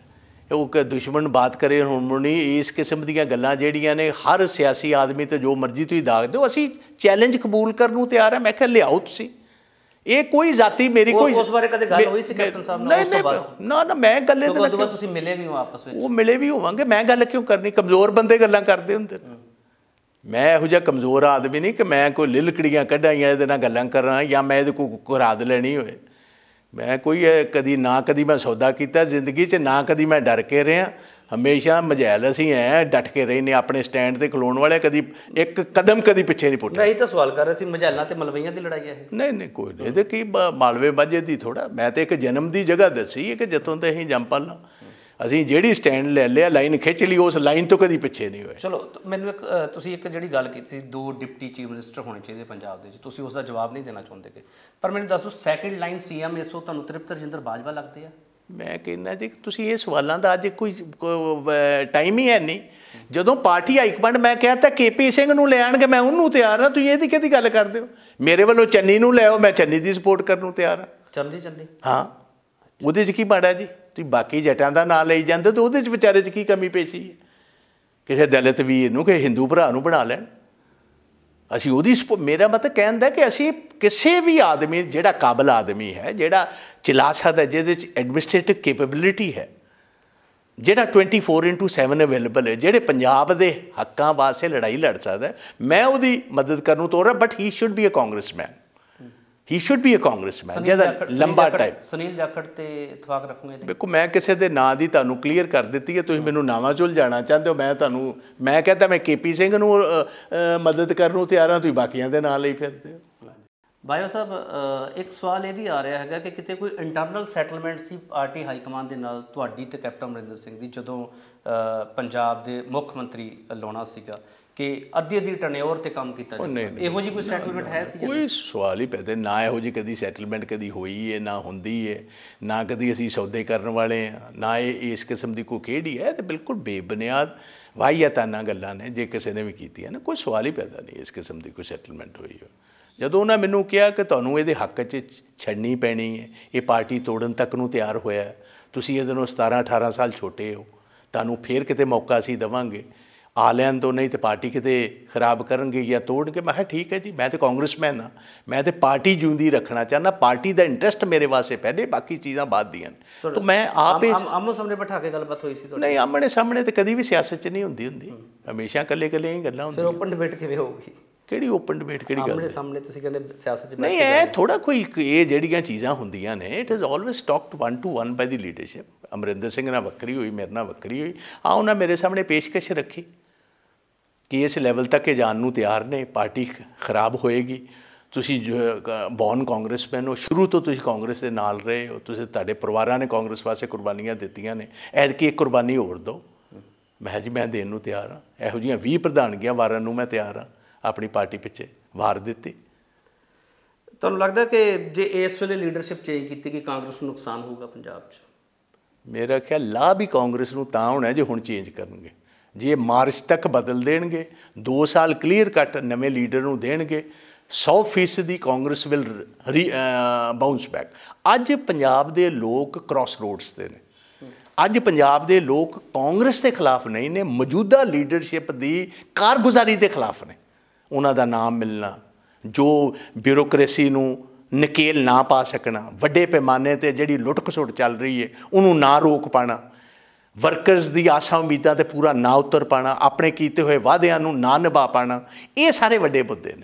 ਤੁਹਾਨੂੰ ਤਾਂ ਬਿਊਰੋਕ੍ਰੇਸੀ ਹਾਵੀ ਹੈ ਗਵਰਨਮੈਂਟ ਤੇ। ਮੈਂ ਤੁਹਾਨੂੰ ਹੋਰ ਕੀ ਦੱਸ ਰਿਹਾ ਜੀ? ਆਹੀ ਤੇ ਤੁਹਾਨੂੰ ਦੱਸਿਆ ਜੀ। ਤੁਸੀਂ ਹਰ ਪੋਜੀਸ਼ਨ ਵੇਖ ਲਓ ਜਿੰਨੇ ਚੇਅਰਮੈਨ ਦੂਸਰੇ ਚੌਥੇ ਨੇ ਸਾਰੇ ਰਿਟਾਇਰਡ ਬਿਊਰੋਕਰੇਟ ਲਾਏ ਨੇ। ਜਿਨ੍ਹਾਂ ਬੰਦਿਆਂ ਦਾ ਕੋਈ ਕੰਟਰੀਬਿਊਸ਼ਨ ਹੀ ਨਹੀਂ ਕਾਂਗਰਸ ਦੇ ਆਂ 'ਚ ਉਹ ਬੰਦੇ ਲਾਏ ਨੇ। And with a dubious past ਜਿਨ੍ਹਾਂ ਲੋਕਾਂ ਦਾ ਕੋਈ ਰਿਕਾਰਡ ਵੀ ਚਾਹੀਦਾ ਹੈ ਨਹੀਂ ਮੇਰਾ ਖਿਆਲ ਹਿੰਦੁਸਤਾਨ ਦੀ ਜਿਹੜੀ ਚੋਟੀ ਤੋਂ ਕਰਪਟ ਬਿਊਰੋਕ੍ਰੇਸੀ ਕਿਸੇ ਸੂਬੇ ਦੇ ਵਿੱਚ ਉਹ ਪੰਜਾਬ ਦੇ ਵਿੱਚ ਹੈ। ਸਾਰਾ ਮਾਲ ਹੀ ਵਿਕਾਊ ਹੈ। ਤੁਸੀਂ ਸੀਬੀਆਈ ਦੀ ਇਨਕੁਆਇਰੀ ਦੀ ਮੰਗ ਕੀਤੀ ਸੀ ਜਦੋਂ ਡਰੱਗ ਡਰੱਗਸ ਵਾਲੇ ਮਾਮਲੇ ਦੇ ਵਿੱਚ? ਹਾਂਜੀ। ਤੇ ਹੁਣ ਤੁਸੀਂ ਇਸ ਮਾਮਲੇ ਵਿੱਚ ਸੀਬੀਆਈ ਨੂੰ ਤੋਤਾ ਦੱਸ ਰਹੇ ਹੋ? ਉਦੋਂ ਤੋਤਾ ਨਹੀਂ ਸੀ? ਨਹੀਂ ਨਹੀਂ ਬਦਲ ਗਿਆ ਜੀ। ਤੋਤੇ ਤੋਤੇ ਦਾ ਫ਼ਰਕ ਹੁੰਦਾ। ਹੁਣ ਉਹਨਾਂ ਦੀ ਸਰਕਾਰ ਹੈ ਅਲਾਈਅੰਸ ਦੇ ਵਿੱਚ ਬੈਠੇ ਨੇ। ਤੋਤਾ ਉਸੇ ਹਿਸਾਬ ਨਾਲ ਤੁਹਾਨੂੰ ਅਜੇ ਤੱਕ ਜਾਪਿਆ ਨਹੀਂ ਕਿ ਕਿਸ ਤਰ੍ਹਾਂ ਬੋਲ ਰਹੀ ਸੀਬੀਆਈ ਜਿਹਨੂੰ ਮਰਜ਼ੀ ਕਾਬੂ ਕਰ ਲੈਂਦੇ ਨੇ, ਜਿਹਨੂੰ ਮਰਜ਼ੀ ਛ- ਛੱਡ ਦਿੰਦੇ ਨੇ। ਅੱਜ ਬੀਜੇਪੀ ਚਲੇ ਜੋ ਡਰਾਈ ਕਲੀਨਿੰਗ ਦੁਕਾਨ ਖੁੱਲੀ ਹੈ, ਵਿੱਚ ਕੱਪੜੇ ਸੁੱਟਦੇ ਨੇ, ਉਹਦੀ ਸਾਰੀ ਮੈਲ ਕੱਢ ਕੇ ਤੇ ਉਹਨੂੰ ਜੁਆਇਨ ਕਰਾ ਦਿੰਦੇ ਨੇ। ਸੋ ਇਹ ਲੈਟ ਅਸ ਨਾਟ ਉਹ ਚੀਜ਼ਾਂ ਤੇ ਟਾਈਮ ਟਾਈਮ ਦੀ ਗੱਲ ਹੁੰਦੀ ਹੈ ਜੀ। ਹਾਂ। ਭਾਈ ਸਾਹਿਬ ਜੇ ਵਾਰ-ਵਾਰ ਇਹ ਸਵਾਲ ਪੁੱਛਿਆ ਜਾਵੇ ਕਿ ਪ੍ਰਤਾਪ ਸਿੰਘ ਬਾਜਵਾ ਦੀ ਜੇ ਪਾਰਟੀ ਹਾਈ ਕਮਾਂਡ ਨਹੀਂ ਸੁਣਦੀ ਇਸ ਮਸਲੇ ਤੇ ਜਿਹੜੇ ਮੁੱਦਿਆਂ ਤੁਸੀਂ ਜ਼ਿਕਰ ਕਰਦੇ ਹੋ ਜਾਂ ਕੈਪਟਨ ਸਾਹਿਬ ਨੇ ਜਿਹੜਾ ਹਾਈ ਕਮਾਂਡ ਕੋਲੇ ਮਤਾ ਭੇਜਿਆ ਹੈਗਾ ਗੱਲ ਹੋਵੇਗੀ ਸਾਰੀ। ਉਸ ਤੋਂ ਬਾਅਦ ਜੇ ਨਹੀਂ ਸੁਣਦੀ ਤਾਂ ਬਾਜਵਾ ਸਾਹਿਬ ਦਾ ਅਗਲਾ ਫੈਸਲਾ ਕੀ ਹੋਊਗਾ? ਕਾਂਗਰਸਮੈਨ ਹੀ ਰਹਿਣਗੇ? ਤੇ ਮੈਂ ਹੋਰ ਕਿੱਥੇ ਜਾਣਾ? ਮੈਂ ਤੇ ਇੱਥੇ ਹੀ ਰਹਿਣਾ। ਬਾਕੀਆਂ ਨੂੰ ਪੁੱਛ ਲਓ ਇਹ ਸਵਾਲ ਮੈਂ ਤੇ ਇੱਥੇ ਹੀ ਰਹਿਣਾ। ਇਹ ਸਵਾਲ ਦੂਜਿਆਂ ਨੂੰ ਪੁੱਛ ਲਓ ਕਿ ਜੇ ਤੁਹਾਡੀ ਨਾ ਕਿਤੇ ਹਾਈ ਕਮਾਂਡ ਮੰਨੇ ਤੇ ਤੁਸੀਂ ਕੀ ਕਰੋਗੇ? ਮੈਂ ਤੇ ਇੱਥੇ ਹੀ ਰਹਿਣਾ। ਮੈਂ ਸਾਰੀ ਉਮਰ ਹੀ ਇੱਥੇ ਰਿਹਾ। ਮੈਂ ਕਿਤੇ ਨਹੀਂ ਚੱਲਿਆ ਨਾ ਮੰਨਣਗੇ ਨਾ ਸਹੀ। ਮੇਰਾ ਕਿ ਚੌਕੀਦਾਰ ਦਾ ਕੰਮ ਹੈ ਜਗਾਣਾ। ਜੇ ਤੁਸੀਂ ਫੇਰ ਵੀ ਕੇਸ ਵੱਟ ਕੇ ਸੁੱਤੇ ਰਹਿਣਾ ਫਿਰ ਚੋਰਾਂ ਨੇ ਘਰ ਦੇ ਵਿੱਚ ਸੇਨ ਲਾ ਕੇ ਲੁੱਟ ਕੇ ਲੈ ਜਾਣਾ। ਮੈਂ ਤੇ ਇਹਨਾਂ ਨੂੰ ਜਗਾਉਣ ਦੀ ਕੋਸ਼ਿਸ਼ ਕਰ ਰਿਹਾ ਪੰਜਾਬ ਸਰਕਾਰ ਨੂੰ ਕਿ ਜਾਗ ਜਾਓ ਤੁਹਾਡੇ ਘਰ 'ਚ ਸੇਨ ਲੱਗੀ। ਜੇ ਨਹੀਂ ਜਾਗਣਾ ਚਾਹੁੰਦੇ ਤੇ ਪ੍ਰਮਾਤਮਾ ਫਿਰ ਬਖਸ਼ਿਸ਼ ਕਰੇ ਇਹਨਾਂ ਤੇ। ਬਾਜਵਾ ਸਾਹਿਬ 25 ਪੈਸੇ ਵਾਲਾ ਤਾਂ ਜ਼ਮਾਨਾ ਵਾਪਸ ਨਹੀਂ ਆ ਸਕਦਾ ਤੁਹਾਨੂੰ ਵੀ ਪਤਾ ਹੈ।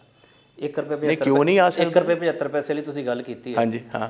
ਤੇ ਇਸ ਵੇਲੇ ਪੰਜਾਬ ਦਾ ਖਜ਼ਾਨਾ ਜਿਹੜਾ ਬਹੁਤ ਬੁਰੇ ਹਾਲਾਤ ਵਿੱਚ ਹੈ ਜੋ ਦੱਸਿਆ ਜਾ ਰਿਹਾ ਸਾਰਾ ਕੁਝ ਕਿ 2 ਲੱਖ 12000 ਕਰੋੜ ਤੋਂ ਵੱਧ ਦਾ ਕਰਜ਼ਾ ਹੈਗਾ।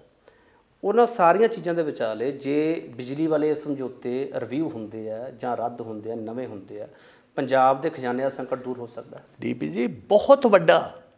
ਸਾਰਿਆਂ ਨੂੰ ਮੋਟਾ ਪੈਸਾ ਹੀ ਡਰੇਨ ਆਊਟ ਇਹ ਬਿਜਲੀ 'ਚ ਆ ਰਿਹਾ।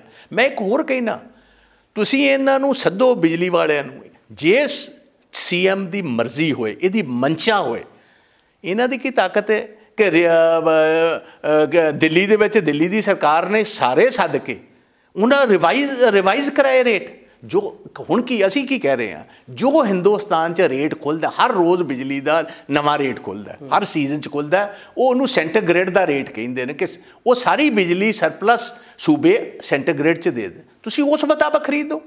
ਇਹਨਾਂ ਪਾਵਰ ਪਲਾਂਟਾਂ ਨੂੰ ਕਹੋ ਕਿ ਅਸੀਂ ਬਿਜਲੀ ਲਵਾਂਗੇ, ਜੋ ਸੈਂਟਰ ਉਦੋਂ ਦਾ ਰੇਟ ਚੱਲਦਾ ਹੋਏਗਾ। ਮੇਰੀ ਗੱਲ ਸਮਝਿਓ ਕਿ ਨਹੀਂ? ਹੁਣ ਉਹ ਜਦੋਂ ਲੋੜ ਹੋਏਗੀ ਖਰੀਦਾਂਗੇ। ਗੁਜਰਾਤ ਨੇ ਵੀ ਇਹੀ ਕੀਤਾ। ਗੁਜਰਾਤ ਦੇ ਵਿੱਚ ਜਿਹੜੇ ਪਲਾਂਟ ਲੱਗੇ, ਉਹਨਾਂ ਕਿਹਾ ਕਿ ਅਸੀਂ ਲਵਾਂਗੇ ਉਸ ਰੇਟ ਮੁਤਾਬਕ ਜਿਹੜਾ ਉਦੋਂ ਦਾ ਰੇਟ ਹੋਏਗਾ ਲਵਾਂਗੇ ਉਦੋਂ ਜਦੋਂ ਸਾਨੂੰ ਲੋੜ ਹੋਏਗੀ। ਠੀਕ। ਇੱਕ ਅਕਾਲੀ ਦਲ ਤੋਂ ਤੁਸੀਂ ਵਾਰ-ਵਾਰ ਸਵਾਲ ਖੜਾ ਕਰਦੇ ਹੋ ਬਿਜਲੀ ਵਾਲਾ ਅਕਾਲੀ ਦਲ ਤੇ ਸਵਾਲ ਹੋਣੇ ਵੀ ਚਾਹੀਦੇ ਕਿਉਂਕਿ ਉਦੋਂ ਇਹ ਸਾਰਾ ਕੁਝ ਹੋਇਆ। ਪਰ ਅਕਾਲੀ ਦਲ ਇਹ ਕਹਿੰਦਾ ਕਿ ਮਨਮੋਹਨ ਸਿੰਘ ਹਰਾਂ ਦੀ ਸਰਕਾਰ ਸੀਗੀ ਉਹਨਾਂ ਨੇ ਜੋ ਸਾਨੂੰ ਬਣਾ ਕੇ ਭੇਜਿਆ ਅਸੀਂ ਉਹਦੇ ਤੇ ਕੋਈ ਫੁੱਲ ਸਟਾਪ ਕੋਮਾ ਕੁਝ ਵੀ ਚੇਂਜ ਨਹੀਂ ਕੀਤਾਗਾ ਉਹਦਾ ਕੀ ਜਵਾਬ ਦੋਗੇ ਤੁਸੀਂ? ਤੁਸੀਂ ਸਮਝਦੇ ਹੋ ਕਿ ਸਾਰੇ ਫੁੱਲ ਸਟਾਪ ਤੇ ਕੌਮੇ ਇਹੀ ਰਹਿਣ ਦਿੰਦੇ ਨੇ ਸੁਖਬੀਰ ਹੋਣੀ? ਜਿਹੜਾ ਪਿੱਛੋਂ ਦੀ ਕੌਮਾਂ ਲਾ ਕੇ ਮਾਲ ਖਾਦਾ ਇਹਨਾਂ ਨੇ ਉਹ ਮਨਮੋਹਨ ਸਿੰਘ ਨੂੰ ਪੁੱਛ ਕੇ ਕੀਤਾ ਜੀ? States they are independent it is not a national policy ਉਹਨਾਂ ਨੇ ਇੱਕ ਪਾਲਿਸੀ ਫਰੇਮ ਕਰਕੇ ਤੁਹਾਨੂੰ ਦੇ ਦਿੱਤੀ। ਇਹ ਤੇ ਸਾ- ਵੇਖੋ, ਇਹਨੇ ਕੀ ਕਿਹਾ? ਮੈਂ ਸਟੇਟ ਸਰਪਲਸ ਕਰਾਂਗਾ ਤੇ ਬਿਜਲੀ ਪਾਕਿਸਤਾਨ ਚ ਵੇਚਾਂਗੇ। Of all the countries he found only Pakistan ਜਿੱਥੇ ਮੈਂ ਬਿਜਲੀ ਵੇਚਣੀ ਹੈ ਮੈਨੂੰ ਉਹ ਤਾਂ ਪ- ਜਿੰਨਾ ਚ ਟਰਾਂਸਮਿਸ਼ਨ ਲਾਈਨਸ ਨਹੀਂ ਲੱਗਦੀਆਂ, ਖੰਭੇ ਨਹੀਂ ਲੱਗਦੇ, ਪਾਕਿਸਤਾਨ ਚ ਬਿਜਲੀ ਕਿਸ ਤਰ੍ਹਾਂ ਜਾਏਗੀ ਜੀ? ਗਈ ਬਿਜਲੀ ਜੀ? He took the Punjab for a ride ਮੈਂ ਤਾਂ ਕਹਿ ਰਿਹਾ, ਕੈਪਟਨ ਸਾਹਿਬ ਨੂੰ, ਸਾਨੂੰ ਦੁੱਖ ਤਕਲੀਫ ਇਹ ਹੈ ਕਿ ਜੇ ਇਹ ਇਹਦੇ ਤੇ ਪਾਲਿਸੀ ਲੈਣ ਦੁੱਧ ਦਾ ਦੁੱਧ ਪਾਣੀ ਦਾ ਪਾਣੀ ਹੋ ਜਾਏ ਤੇ ਇਹ ਕਟਹਿਰੇ ਵਿੱਚ ਖਿਲਾਰੇ ਹੋਣ ਹੁਣ ਜੀ। ਨਹੀਂ ਹੁਣ ਤੁਸੀਂ ਕੈਪਟਨ ਸਾਹਿਬ ਤੇ ਕਾਰਵਾਈ ਚਾਹੁੰਦੇ ਹੋ ਜਾਂ ਸ਼੍ਰੋਮਣੀ ਅਕਾਲੀ ਦਲ ਭਾਜਪਾ ਦੀ ਪੁਰਾਣੀ ਸਰਕਾਰ ਤੇ ਕਾਰਵਾਈ ਚਾਹੁੰਦੇ ਹੋ? ਕਿਹੜੀ ਕਾਰਵਾਈ ਚਾਹੁੰਦੇ ਹੋ ਅਸੀਂ ਤੇ ਇਹ ਚਾਹੁੰਦੇ ਆ ਕਿ ਜਿਹੜੀ ਇਹ ਪਾਲਿਸੀਜ਼ ਫਰੇਮ ਹੋਈਆਂ ਨੇ ਉਹਦੀ ਕੋਈ ਬੰਦਾ ਨਿਚੋੜ ਤੇ ਕੱਢ ਕੇ ਦੇ ਉਹਦਾ ਉਹਦਾ ਵਾਈਟ ਪੇਪਰ ਤੇ ਤਿਆਰ ਕਰਕੇ ਦੇ। ਉਹਦੇ ਜਿਹੜਾ ਵੀ ਰਿਸਪੌਂਸਿਬਲ ਹੋਏਗਾ ਜੇ ਕਾਂਗਰਸ ਦਾ ਕੋਈ ਬੰਦਾ ਰਿਸਪੌਂਸਿਬਲ ਹੈ, ਉਹਨੂੰ ਕੀਮਤ ਅਦਾ ਕਰਨੀ ਪਏ। ਜੇ ਸੁ- ਸੁਖਬੀਰ ਹੁਣੀ ਤੇ ਹੈ ਹੀ ਹੈ ਨੇ ਰਿਸਪੌਂਸਿਬਲ ਇਹ, ਇਹਨਾਂ ਦੀ ਗੱਲਬਾਤ ਬੰਦ ਕਰੋ। ਤਿੰਨਾਂ ਸਾਲਾਂ ਬਾਅਦ ਸੁਖਬੀਰ ਨੂੰ ਹੁਣ ਸੁਝੀ ਬਿਜਲੀ ਦੀ ਗੱਲ। ਉਹਨੇ ਜਦੋਂ ਅਸੈਸ ਕਰ ਲਿਆ ਕਿ ਹੁਣ ਮੈਨੂੰ ਹੱਥ ਨਹੀਂ ਕਿਸੇ ਨੇ ਪਾਣਾ ਇਹ ਰੀਵਿਜ਼ਿਟ ਨਹੀਂ ਹੋਣੀ ਆ ਹੋ ਸਕਦਾ। ਉਹਨੂੰ ਉਹਨੂੰ ਪਤਾ ਹੋਏ ਕਿਸੇ ਗੱਲ ਦਾ ਕਿ ਨਹੀਂ ਹੁਣ ਕਿਸੇ ਨੇ ਹੱਥ ਤਾਂ ਉਹ ਪਾਣਾ ਕਹਿ ਰਿਹਾ ਕਿ ਜਿਹੜਾ ਹੁਣ ਪੈਸਾ ਦੇਣਾ ਪੈ ਰਿਹਾ ਜਿਹੜਾ ਪੰਜਾਬ ਦੀ ਜਨਤਾ ਤੇ ਬੋਝ ਪਾਇਆ ਜਾ ਰਿਹਾ ਉਹ ਤਾਂ ਇਹਨੂੰ ਵੀ ਕਥਿਤ ਘੁਟਾਲੇ ਦਾ ਨਾਮ ਲੈ ਰਹੇ ਆ ਕਿ ਇੱਥੇ ਇੱਥੇ ਵੀ ਘੁਟਾਲਾ ਹੋ ਰਿਹਾ। ਤੁਸੀਂ ਵੀ ਇਸ ਨਾਲ ਇਤਫਾਕ ਰੱਖਦੇ ਹੋ ਕਿ ਹੁਣ ਵਾਲੀ ਸਰਕਾਰ ਵਿੱਚ ਬਿਜਲੀ ਦੇ ਨਾਂ ਤੇ ਘੁਟਾਲਾ ਹੋ ਰਿਹਾ ਕਿਉਂਕਿ ਉਹ ਕਹਿ ਰਿਹਾ ਕਿ ਕੋਰਟਸ ਦੇ ਵਿੱਚ ਇਹਨਾਂ ਨੇ ਚੰਗੀ ਤਰ੍ਹਾਂ ਪੈਰਵਾਈ ਨਹੀਂ ਕੀਤੀ। ਕੇਸ ਜਾਣਬੁੱਝ ਕੇ ਕਮਜ਼ੋਰ ਕੀਤਾ। ਤੁਸੀਂ ਇਹਨਾਂ ਇਲਜ਼ਾਮਾਂ ਨਾਲ ਇਤਫਾਕ ਰੱਖਦੇ ਹੋ? ਵੇਖੋ ਮੈਨੂੰ ਇਸ ਗੱਲ ਜਿਸ ਗੱਲ ਦਾ ਮੈਨੂੰ ਕੇਪੀ ਜੀ ਪਤਾ ਨਹੀਂ ਮੈਂ ਉਸ ਗੱਲ ਦੇ ਉੱਤੇ ਨਾ ਮੋਹਰ ਲਾਣਾ ਚਾਹਨਾ ਨਾ ਹਾਂ ਕਰਨਾ ਚਾਹਨਾ ਨਾ ਨਾ ਕਰਨਾ ਚਾਹਨਾ ਬਟ ਮੈਂ ਇੱਕ ਜ਼ਰੂਰ ਸਮਝਣਾ ਕਿ ਪਿਛਲੇ ਜਿੰਨੇ ਵੀ ਕੋਰਟ ਕੇਸਸ ਹੋਏ ਨੇ ਭਾਵੇਂ ਬਰਗਾੜੀ ਨਾਲ ਤਲਕ ਰੱਖਦੇ ਹੋਣ ਭਾਵੇਂ ਪਾਣੀਆਂ ਨਾਲ ਹੋਣ ਪਾ ਕਿਸੇ ਨਾਲ ਜਿਹੜਾ ਐਡਵੋਕੇਟ ਜਨਰਲ ਦਾ ਆਫਿਸ ਹੈ ਇਹ ਇੱਕ ਵੀਕ ਲਿੰਕ ਹੈ ਗਵਰਨਮੈਂਟ ਆਫ ਪੰਜਾਬ ਦਾ। ਇਹ ਪਰਸਨਲ ਦੋਸਤ ਹੈ ਸੀਐਮ ਦਾ ਬਟ ਨਾਕਾਬਲ ਆਦਮੀ ਹੈ। ਇਸ ਆਦਮੀ ਨੇ ਅਜੇ ਤੱਕ ਕੋਈ ਪੰਜਾਬ ਦਾ ਕੇਸ ਸਿਰੇ ਨਹੀਂ ਚੜਾਇਆ।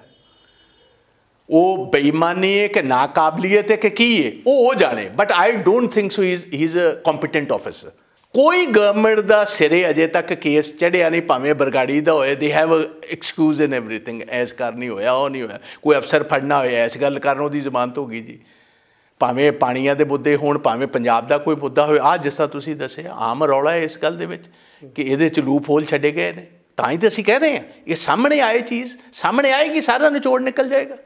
ਬਰਗਾੜੀ ਕੇਸ ਦਾ ਤੁਸੀਂ ਜ਼ਿਕਰ ਵਾਰ-ਵਾਰ ਕਰਦੇ ਹੋ। ਬਰਗਾੜੀ ਕੇਸ ਦੇ ਨਾਲ ਜਿੰਨੇ ਵੀ ਪੁਲਿਸ ਅਫਸਰ ਉਹਨਾਂ ਤੇ ਪਰਚੇ ਹੋਏ ਉਹਨਾਂ ਦਾ ਨਾਮ ਆਇਆ ਉਸ ਤੋਂ ਬਾਅਦ ਜਿਹੜੇ ਪੋਲੀਟੀਸ਼ੀਅਨ ਸੀਗੇ ਅਕਾਲੀ ਦਲ ਨਾਲ ਸੰਬੰਧਿਤ ਉਹਨਾਂ ਦਾ ਵੀ ਜ਼ਿਕਰ ਹੋਇਆ। ਤੁਹਾਨੂੰ ਸਿੱਧੇ ਤੌਰ ਤੇ ਕੀ ਸ਼ਮੂਲੀਅਤ ਲੱਗਦੀ ਹੈ ਕਿ ਕੈਪਟਨ ਅਮਰਿੰਦਰ ਸਿੰਘ ਦੀ ਸਰਕਾਰ ਕਿੱਥੇ ਫੇਲ ਹੋਈ ਹੈ? ਇਸ ਪੂਰੇ ਮਾਮਲੇ ਵਿੱਚ ਜਾਂਚ ਕਰਨ ਤੇ। ਸਾਰੀ ਰਿਪੋਰਟ ਆ ਚੁੱਕੀ ਸੀ ਜਸਟਿਸ ਰਣਜੀਤ ਸਿੰਘ ਦੀ। ਗੁਨਾਹਗਾਰੋਂ ਨੇ ਪਿਨ ਪੁਆਇੰਟ ਕਰ ਦਿੱਤੇ ਸੀ। ਅੱਜ ਮੈਨੂੰ ਦੱਸੋ, ਮੈਂ ਪੁੱਛਣਾ ਚਾਹੁੰਦਾ ਕੈਪਟਨ ਸਾਹਿਬ ਨੂੰ ਕਿ ਕੀ ਮਜਬੂਰੀ ਹੈ? ਸੁਖਬੀਰ ਸਿੰਘ ਬਾਦਲ ਤੇ ਸੁਮੇਸ਼ ਸਿੰਘ ਸੈਣੀ ਨੂੰ ਗ੍ਰਿਫਤਾਰ ਕਰਨ 'ਚ ਕੀ ਪ੍ਰੋਬਲਮ ਹੈ ਤੁਹਾਨੂੰ? ਕੀ ਬੰਦਿਸ਼ ਹੈ ਤੁਹਾਡੇ ਰਸਤੇ 'ਚ? ਕਿਹੜੇ ਕ- ਤੁਹਾਨੂੰ ਕੋਰਟ ਨੇ ਕਿਹਾ ਕਿ ਇਹਨਾਂ ਦੀ ਗ੍ਰਿਫਤਾਰੀ ਨਾ ਹੋਏ? ਹੁਣ ਤੱਕ ਇਹਨੂੰ ਟੰਗ ਦੇਣਾ ਚਾਹੀਦਾ ਸੀ, ਇਹਨਾਂ ਦੀ ਗ੍ਰਿਫਤਾਰੀ ਕਰਨੀ ਚਾਹੀਦੀ ਸੀ।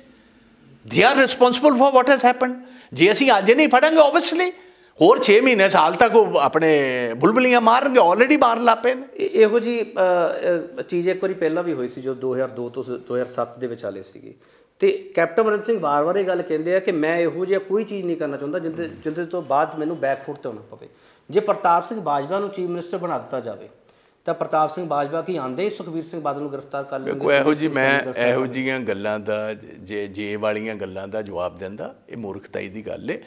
ਜਦੋਂ ਮੌਕਾ ਕਿਤੇ ਆਏਗਾ ਫੇਰ ਵੇਖਾਂਗੇ। ਅੱਜ ਜਿਹੜਾ ਮੌਜੂਦਾ ਮੁੱਖ ਮੰਤਰੀ ਹੈ ਉਹ ਜਵਾਬ ਦੇ ਹੈ ਉਹ ਜਵਾਬ ਦੇ ਇਸ ਨਹੀਂ ਨਵਜੋਤ ਸਿੰਘ ਸਿੱਧੂ ਹਰਾਂ ਨੇ ਵੀ ਇੱਕ ਵਾਰੀ ਕਿਹਾ ਸੀ ਇਹ ਗ੍ਰਹਿ ਮੰਤਰਾਲਾ ਮੈਨੂੰ ਜਦੋਂ ਮੈਂ ਦੇਖਦਾ ਕੀ ਹੁੰਦਾ। ਚਲੋ ਇਸ ਗੱਲ ਦਾ ਮੈਂ ਜਵਾਬ ਨਹੀਂ ਦੇ ਸਕਦਾ ਜੀ। ਜਿਹੜਾ ਮੌਜੂਦਾ ਮੁੱਖ ਮੰਤਰੀ ਉਹ ਜਵਾਬ ਦੇ ਇਸ ਜੇ ਇਹ ਵਾਲੀ ਗੱਲ ਉਹ ਤੇ ਆਪ ਮੰਤਰੀ ਨਹੀਂ ਰਿਹਾ ਗ੍ਰਹਿ ਮੰਤਰੀ ਉਹਨੂੰ ਕਿਹੜਾ ਕਿੰਨੇ ਬਣਾ ਦੇਣਾ ਸੀ?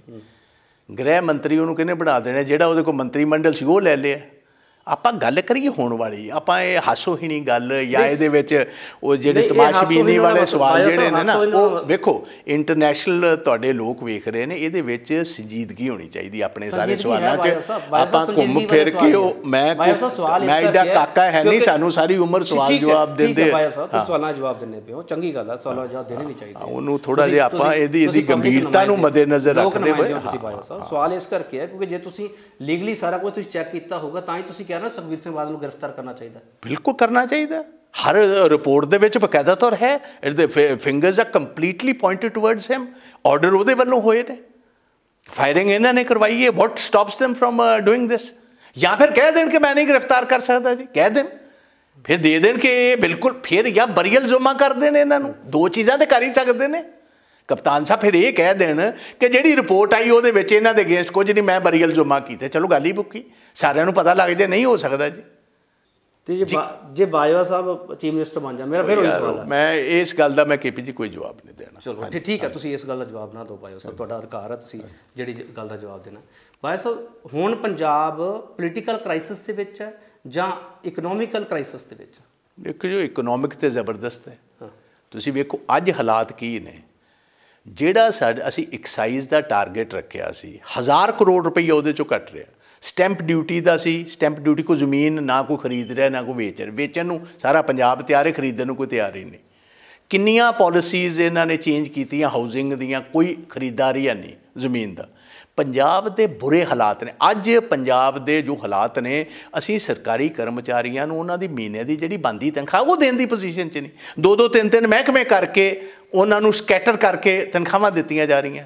ਉਹਨਾਂ ਦੇ ਪ੍ਰੋਵੀਡੈਂਟ ਫੰਡ ਜਿਹੜੇ ਮੁਲਾਜ਼ਮਾਂ ਦੇ ਨੇ, ਕਿਸੇ ਦੀ ਬਿਮਾਰੀ ਆ ਜਾਂਦੀ, ਕਿਸੇ ਦੇ ਘਰ ਵਿੱਚ ਸ਼ਾਦੀ ਆ ਜਾਂਦੀ, ਕਿ ਇਹਨੇ ਫੋਰਨ ਟਰੈਵਲ ਕਰਨਾ ਜਾਂ ਕਿਤੇ ਵੀ ਜਾਣਾ he cannot get the money because government doesn't have the money ਉਸ ਤੋਂ ਬਾਅਦ ਤੁਸੀਂ ਵੇਖੋ ਜਿੰਨੀਆਂ ਸੋਸ਼ਲ ਦੀਆਂ ਸਕੀਮ ਸੀ ਸੋਸ਼ਲ ਵੈਲਫੇਅਰ ਦੀਆਂ ਸਕੀਮ ਸੀ, ਗਰੀਬ ਵਰਗ ਵਾਸਤੇ ਅਸੀਂ ਆਟਾ ਦਾਲ ਉਹ ਬੰਦ ਪਿਆ ਉੱਥੇ ਅਸੀਂ ਪੈਨਸ਼ਨਸ ਵਾਲਾ ਉਹ ਕਿਸੇ ਨੂੰ ਮਿਲ ਨਹੀਂ ਰਹੀ, ਕੋਈ ਡਿਵੈਲਪਮੈਂਟ ਦਾ ਕੋਈ ਕੰਮ ਨਹੀਂ ਹੋ ਰਿਹਾ। ਹੁਣ ਜਿਹੜੇ ਅੱਜ ਕੱਲ੍ਹ ਚ ਐਮਐਲਏ ਸੱਦੇ ਨੇ, ਇਹਨਾਂ ਨੂੰ ਪ੍ਰੋਮਿਸ ਕੀਤਾ ਜਾ ਰਿਹਾ, ਤੁਹਾਨੂੰ 20 ਜਾਂ 25 ਕਰੋੜ ਰੁਪਈਆ ਦੇਵਾਂਗੇ, ਉਹ ਵੀ ਕਿਤੋਂ ਕਰਜ਼ਾ ਚੁੱਕ ਕੇ। ਮੈਨੂੰ ਦੱਸੋ, ਕਰਜ਼ਾ ਚੁੱਕ ਕੇ ਜੇ 20 25 25 ਕਰੋੜ ਰੁਪਈਏ ਇੱਕ ਹਲਕੇ 'ਚ ਲੱਗੇਗਾ, ਕਦੋਂ ਆਏਗਾ, ਕਦੋਂ ਪਹੁੰਚੇਗਾ, ਕੀ ਉਹਦਾ ਬਣੇਗਾ? ਕਿੱਡੀ ਅਨਫੋਰਚੂਨੇਟ ਗੱਲ ਹੈ ਜੀ। ਗੰਨਾ ਕਾਸ਼ਤਕਾਰਾਂ ਦੀ ਵੀ ਤੁਸੀਂ ਗੱਲ ਕਰਦੇ ਬਿਲਕੁਲ ਹੋ ਬਿਲਕੁਲ। ਉਹਨਾਂ ਦੇ ਦੋ ਸਾਲ। ਮੈਂ ਅਜੇ ਵੀ ਗੱਲ ਕਰ ਰਿਹਾ ਉਹ ਬੋਨਸ ਤੇ ਤੁਸੀਂ ਛੱਡ ਹੀ ਲਓ। ਉਹਨਾਂ ਦੀਆਂ ਪੇਮੈਂਟਸ ਹੋਈਆਂ ਨੂੰ ਦੋ ਦੋ ਸਾਲ ਹੋ ਗਏ ਨੇ। ਪ੍ਰਾਈਵੇਟ ਬਿਲਰਸ ਕੋ ਪੈਸੇ ਪਏ ਨੇ ਗਵਰਨਮੈਂਟ ਬਿਲਰਸ ਕੋ ਪੈਸੇ ਪਏ ਗਰੀਬ ਵਿਚਾਰੇ ਪਿੱਟ ਰਹੇ ਨੇ ਰੋ ਰਹੇ ਨੇ। ਹੁਣ ਜੇ ਕੱਲ ਮੈਂ ਕਰਾਂਗਾ ਫਿਰ ਤੁਸੀਂ ਕਹੋਗੇ ਜੀ ਕਿ ਇਹਨਾਂ ਦੀ ਕੋਈ ਪਰਸਨਲ ਕਿਹੜਾ ਹੈ ਕੈਪਟਨ ਨਾਲ? ਤਾਂ ਇਹ ਹੁਣੇ ਗੰਨੇ ਵਾਲੇ ਜੱਟਾਂ ਦੀ ਗੱਲ ਕਰਨੀ ਸ਼ੁਰੂ ਕਰ ਦਿੱਤੇ। ਮੈਂ ਤੇ ਕਰਨੀ ਕਰਨੀ। ਗੰਨੇ ਦਾ ਸੀਜ਼ਨ ਸ਼ੁਰੂ ਹੋ ਗਿਆ। ਸਾਡੇ ਏਰੀਆ ਦੇ ਵਿੱਚ ਗੁਰਦਾਸਪੁਰ ਤੇ ਹੁਸ਼ਿਆਰਪੁਰ ਜਿਹੜਾ ਕਾਮਨ ਬਾਰਡਰ ਹੈ ਇਹ ਤੇ ਸਾਰੇ ਲੋਕ ਹੁਣ ਬੀਜਦੇ ਹੀ ਗੰਨਾ ਨੇ ਜੀ। ਉਹਨਾਂ ਕੋ 2-2 ਸਾਲ ਹੋ ਗਏ ਨੇ। ਇੱਕ ਮੇਰੀ ਜ਼ਮੀਨ ਜਿਹੜੀ ਠੇਕੇ ਤੇ ਵੰਦ ਹੈ, ਉਸ ਮੁੰਡੇ ਦਾ 19 ਲੱਖ ਰੁਪਈਆ, ਕੀੜੀ ਸ਼ੂਗਰ ਮਿਲ ਜਿਹੜੀ ਉੱਥੇ ਸਾਡੀ ਮਿਲ ਲੱਗੀ ਹੈ ਚੱਡਿਆਂ ਦੀ, ਉਹਨੇ ਅਜੇ ਤੱਕ ਪੈਸੇ ਨਹੀਂ ਦਿੱਤੇ। ਇੱਕ ਸਾਲ ਦੇ ਪੈਸੇ ਨਹੀਂ ਮਿਲੇ। ਤੇ ਇੱਕ ਛੋਟਾ ਕਿਸਾਨ, ਜਿਹਦਾ 19 ਲੱਖ ਰੁਪਈਆ ਪਿਛਲੇ ਸਾਲ ਦਾ ਬਕਾਇਆ ਰਿਹਾ, ਉਹਨੂੰ ਤੇ ਹਰ ਆਪਣੇ ਜਿਹੜਾ ਪੈਸਾ ਚੋਤਾ ਬੈਂਕ, ਉਹਨੂੰ ਤੇ ਵਿਚਾਰੇ ਨੂੰ ਇੰਟਰਸਟ ਦੇਣਾ ਪੈਂਦਾ ਤੇ ਤੁਹਾਡੇ ਤਾਂ ਇਲਾਕੇ ਦੇ ਇੰਨੇ ਵੱਡੇ ਵੱਡੇ ਮੰਤਰੀ ਆ ਉੱਥੋਂ ਉਹ ਨਹੀਂ ਮਸਲਾ ਹੱਲ ਕਰਾ ਪਾਉਂਦੇ। ਚਲੋ ਮੈਂ ਉਹਨਾਂ ਤੇ ਨਹੀਂ ਜਾਣਾ ਚਾਹੁੰਦਾ ਮੈਂ ਤਾਂ ਤੁਹਾਨੂੰ ਜੋ ਸਿਚੁਏਸ਼ਨ ਹੈ ਉਹਦੇ ਬਾਰੇ ਦੱਸਣਾ ਚਲੋ ਮੈਨੂੰ ਇੱਕ ਸਵਾਲ ਦਾ ਹੋਰ ਜੇ ਮਸਲੇ ਹੱਲ ਹੁੰਦੇ ਹੀ ਹੁੰਦੇ ਮੈਨੂੰ ਤੁਹਾਨੂੰ ਕਹਿਣ ਦੀ ਕੀ ਲੋੜ ਪਈ? ਮੈਨੂੰ ਇੱਕ ਸਵਾਲ ਦਾ ਹੋਰ ਜਵਾਬ ਦੇ ਦਿਓ ਬਾਜਵਾ ਸਾਹਿਬ। ਕੈਪਟਨ ਸਾਹਿਬ ਦੇ ਜਿਹੜੇ ਵਜ਼ੀਰ ਹੈਗੇ ਆ ਉਹ ਕਾਬਲ ਹੈ? ਦੇਖੋ ਮੈਂ ਕਿਸੇ ਦੀ ਕਾਬਲੀਅਤ ਨਾ ਕਾਬਲੀਅਤ ਤੇ I am nobody to give a sweeping statement ਕਿਹੜਾ ਕਾਬਲ ਹੈ ਕਿਹੜਾ ਨਹੀਂ ਕਾਬਲ। ਮੈਂ ਤਾਂ ਇੱਕੋ ਗੱਲ ਕਹਿਣਾ ਕਿ ਕੀਤੇ ਵਾਅਦੇ ਕੈਪਟਨ ਸਾਹਿਬ ਨਿਭਾਓ ਲੋਕਾਂ ਵਿੱਚ ਟਾਈਮ ਦਿਓ। ਐਡਮਿਨਿਸਟ੍ਰੇਸ਼ਨ ਤੇ ਕੰਟਰੋਲ ਕਰੋ, ਲੁੱਟ ਖਸੁੱਟ ਨੂੰ ਬੰਦ ਕਰੋ। ਬਾਕੀ ਚੀਜ਼ਾਂ ਕਿਹੜਾ ਕਿੰਨਾ ਕਾਬਲ ਉਹ ਤਾਂ ਲੋਕਾਂ ਸਾਰਿਆਂ ਨੂੰ ਪਤਾ, ਤੁਹਾਨੂੰ ਹੀ ਪਤਾ। ਤੁਸੀਂ ਆ ਟੀਵੀ ਚੈਨਲ ਲੈ ਕੇ ਸਾਰੇ ਪੰਜਾਬ ਦੇ ਕਿਸੇ ਪਿੰਡ, ਸ਼ਹਿਰ ਚ ਤੁਰ ਜੋ ਹਰ ਮਿਨਿਸਟਰ ਦਾ ਕਾਰਨਾਮਾ ਤੁਹਾਨੂੰ ਪਤਾ ਲੱਗ ਜਾਏਗਾ ਉਹਦੇ ਮਹਿਕਮੇ ਦਾ। ਤੁਹਾਨੂੰ ਕਿਤੇ ਦੂਰ ਜਾਣ ਦੀ ਲੋੜ ਨਹੀਂ ਪੈਗੀ, ਪ੍ਰਤਾਪ ਸਿੰਘ ਬਾਜਵਾ ਕੋ ਸਰਟੀਫਿਕੇਟ ਲੈਣਾ ਜਾਂ ਫਤਵਾ ਲੈਣਾ ਗਲਤ ਹੋਏਗਾ। ਮੈਂ, ਮੇਰੀ ਪਾਰਟੀ ਸਰਕਾਰ ਦੇ ਵਿੱਚ ਮੈਂ ਕਿਸੇ ਬਾਰੇ ਕੋਈ ਸਵੀਪਿੰਗ ਸਟੇਟਮੈਂਟ ਨਹੀਂ ਦੇਣਾ ਚਾਹਾਂਗਾ। ਕੈਪਟਨ ਸਾਹਿਬ ਦੀ ਸਿਰਫ ਕੱਲੀ ਲੀਡਰਸ਼ਿਪ ਤੇ ਸਵਾਲ ਹੈ?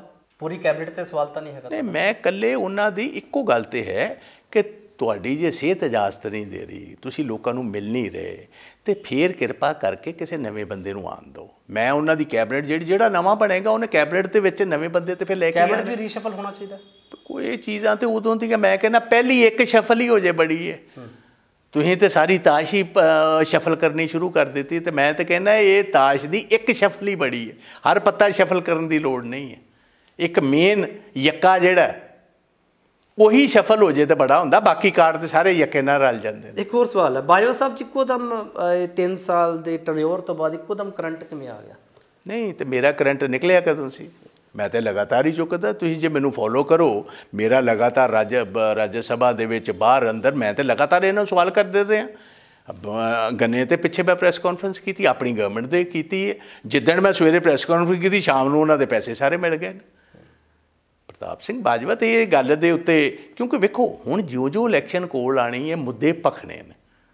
ਪਹਿਲੇ ਜਿਹੜਾ ਹੁੰਦਾ ਸੁਸਤ ਰਫਤਾਰ ਹੁੰਦੀ ਹੈ ਉਸ ਤਰ੍ਹਾਂ ਮੁੱਦੇ ਭਖਦੇ ਘੱਟ ਨੇ। ਹੁਣ ਹੁਣ ਤੇ ਭਖਣੇ ਨੇ। ਅਸੀਂ ਆਪਣੇ ਮੁੱਦੇ ਚੁੱਕਣੇ ਨੇ। ਜਿਉਂ-ਜਿਉਂ ਗਵਰਨਮੈਂਟ ਜਿੱਥੇ ਚੰਗਾ ਕੰਮ ਕਰੇਗੀ ਉਹਦੀ ਮੈਂ ਤਾਰੀਫ ਵੀ ਕਰਾਂਗਾ ਉਹਦੀ ਸਪੋਰਟ ਵੀ ਕੋਈ ਕਰਾਂਗਾ। ਚੰਗਾ ਕੰਮ ਕੀਤਾ ਗਵਰਨਮੈਂਟ ਨੇ? ਨਹੀਂ ਬਹੁਤ ਚੰਗੇ ਵੀ ਕੀਤੇ ਨੇ।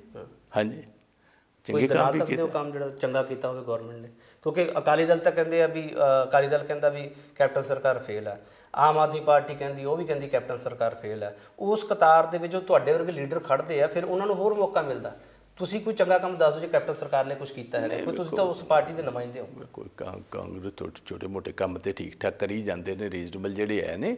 ਬਟ ਗੱਲ ਇਹ ਸੀ ਕਿ ਜਿਹੜੇ ਅਸੀਂ ਕੀਤੇ ਹੋਏ ਵਾਅਦੇ ਸੀ ਮੇਨ ਮੈਨੀਫੈਸਟੋ ਦੇ ਉਹਨਾਂ ਮੈਨੀਫੈਸਟੋ ਦੇ ਵਿੱਚ ਕੀਤੇ ਹੋਏ ਵਾਅਦੇ ਸੀ ਉਹਨਾਂ ਲੋਕਾਂ ਨੂੰ ਅਸੀਂ ਉਹ ਲੋਕ ਇਹ ਇਹ ਮਹਿਸੂਸ ਕਰਦੇ ਨੇ ਕਿ ਜਿਸ ਅਸੀਂ ਆਸ ਉਮੀਦ ਦੇ ਨਾਲ ਗਵਰਨਮੈਂਟ ਲਿਆਂਦੀ ਸੀ ਅਸੀਂ ਚਾਹੁੰਦੇ ਸੀ ਕਿ ਜਿਨ੍ਹਾਂ ਲੋਕਾਂ ਨੇ ਇੰਸਟੀਟਿਊਸ਼ਨਲਾਈਜ਼ਡ ਕਰਪਸ਼ਨ ਕੀਤੀ ਹੈ ਪੰਜਾਬ ਦੀ ਇਕਨੋਮੀ ਨੂੰ ਰੇਪ ਕੀਤਾ ਹੈ, ਉਹਨਾਂ ਲੋਕਾਂ ਨੂੰ ਸਜ਼ਾ ਦਿੱਤੀ ਜਾਂਦੀ। ਅਸੀਂ ਜਦੋਂ ਉਹ ਨਹੀਂ ਦੇ ਪਾਏ ਇੰਨੇ ਵਾਅਦੇ ਕਰਨ ਤੋਂ ਬਾਅਦ ਤਾਂ ਲੋਕਾਂ ਵਿੱਚ ਵੱਡੇ ਪੈਮਾਨੇ ਤੇ ਮਾਯੂਸੀ ਇਸ ਗੱਲ ਦੀ ਤੁਸੀਂ ਇਹ ਸਾਰੀਆਂ ਗੱਲਾਂ ਹਾਈ ਕਮਾਂਡ ਕੋਲੇ ਸਾਂਝੀਆਂ ਕੀਤੀਆਂ ਸੋਨੀਆ ਗਾਂਧੀ ਰਾਹੁਲ ਗਾਂਧੀ 100% 100% ਸਾਰਿਆਂ ਸਾਰਿਆਂ ਨੂੰ ਪਤਾ। ਹੈ ਉਹਨਾਂ ਨੇ ਕੀ ਕਿਹਾ?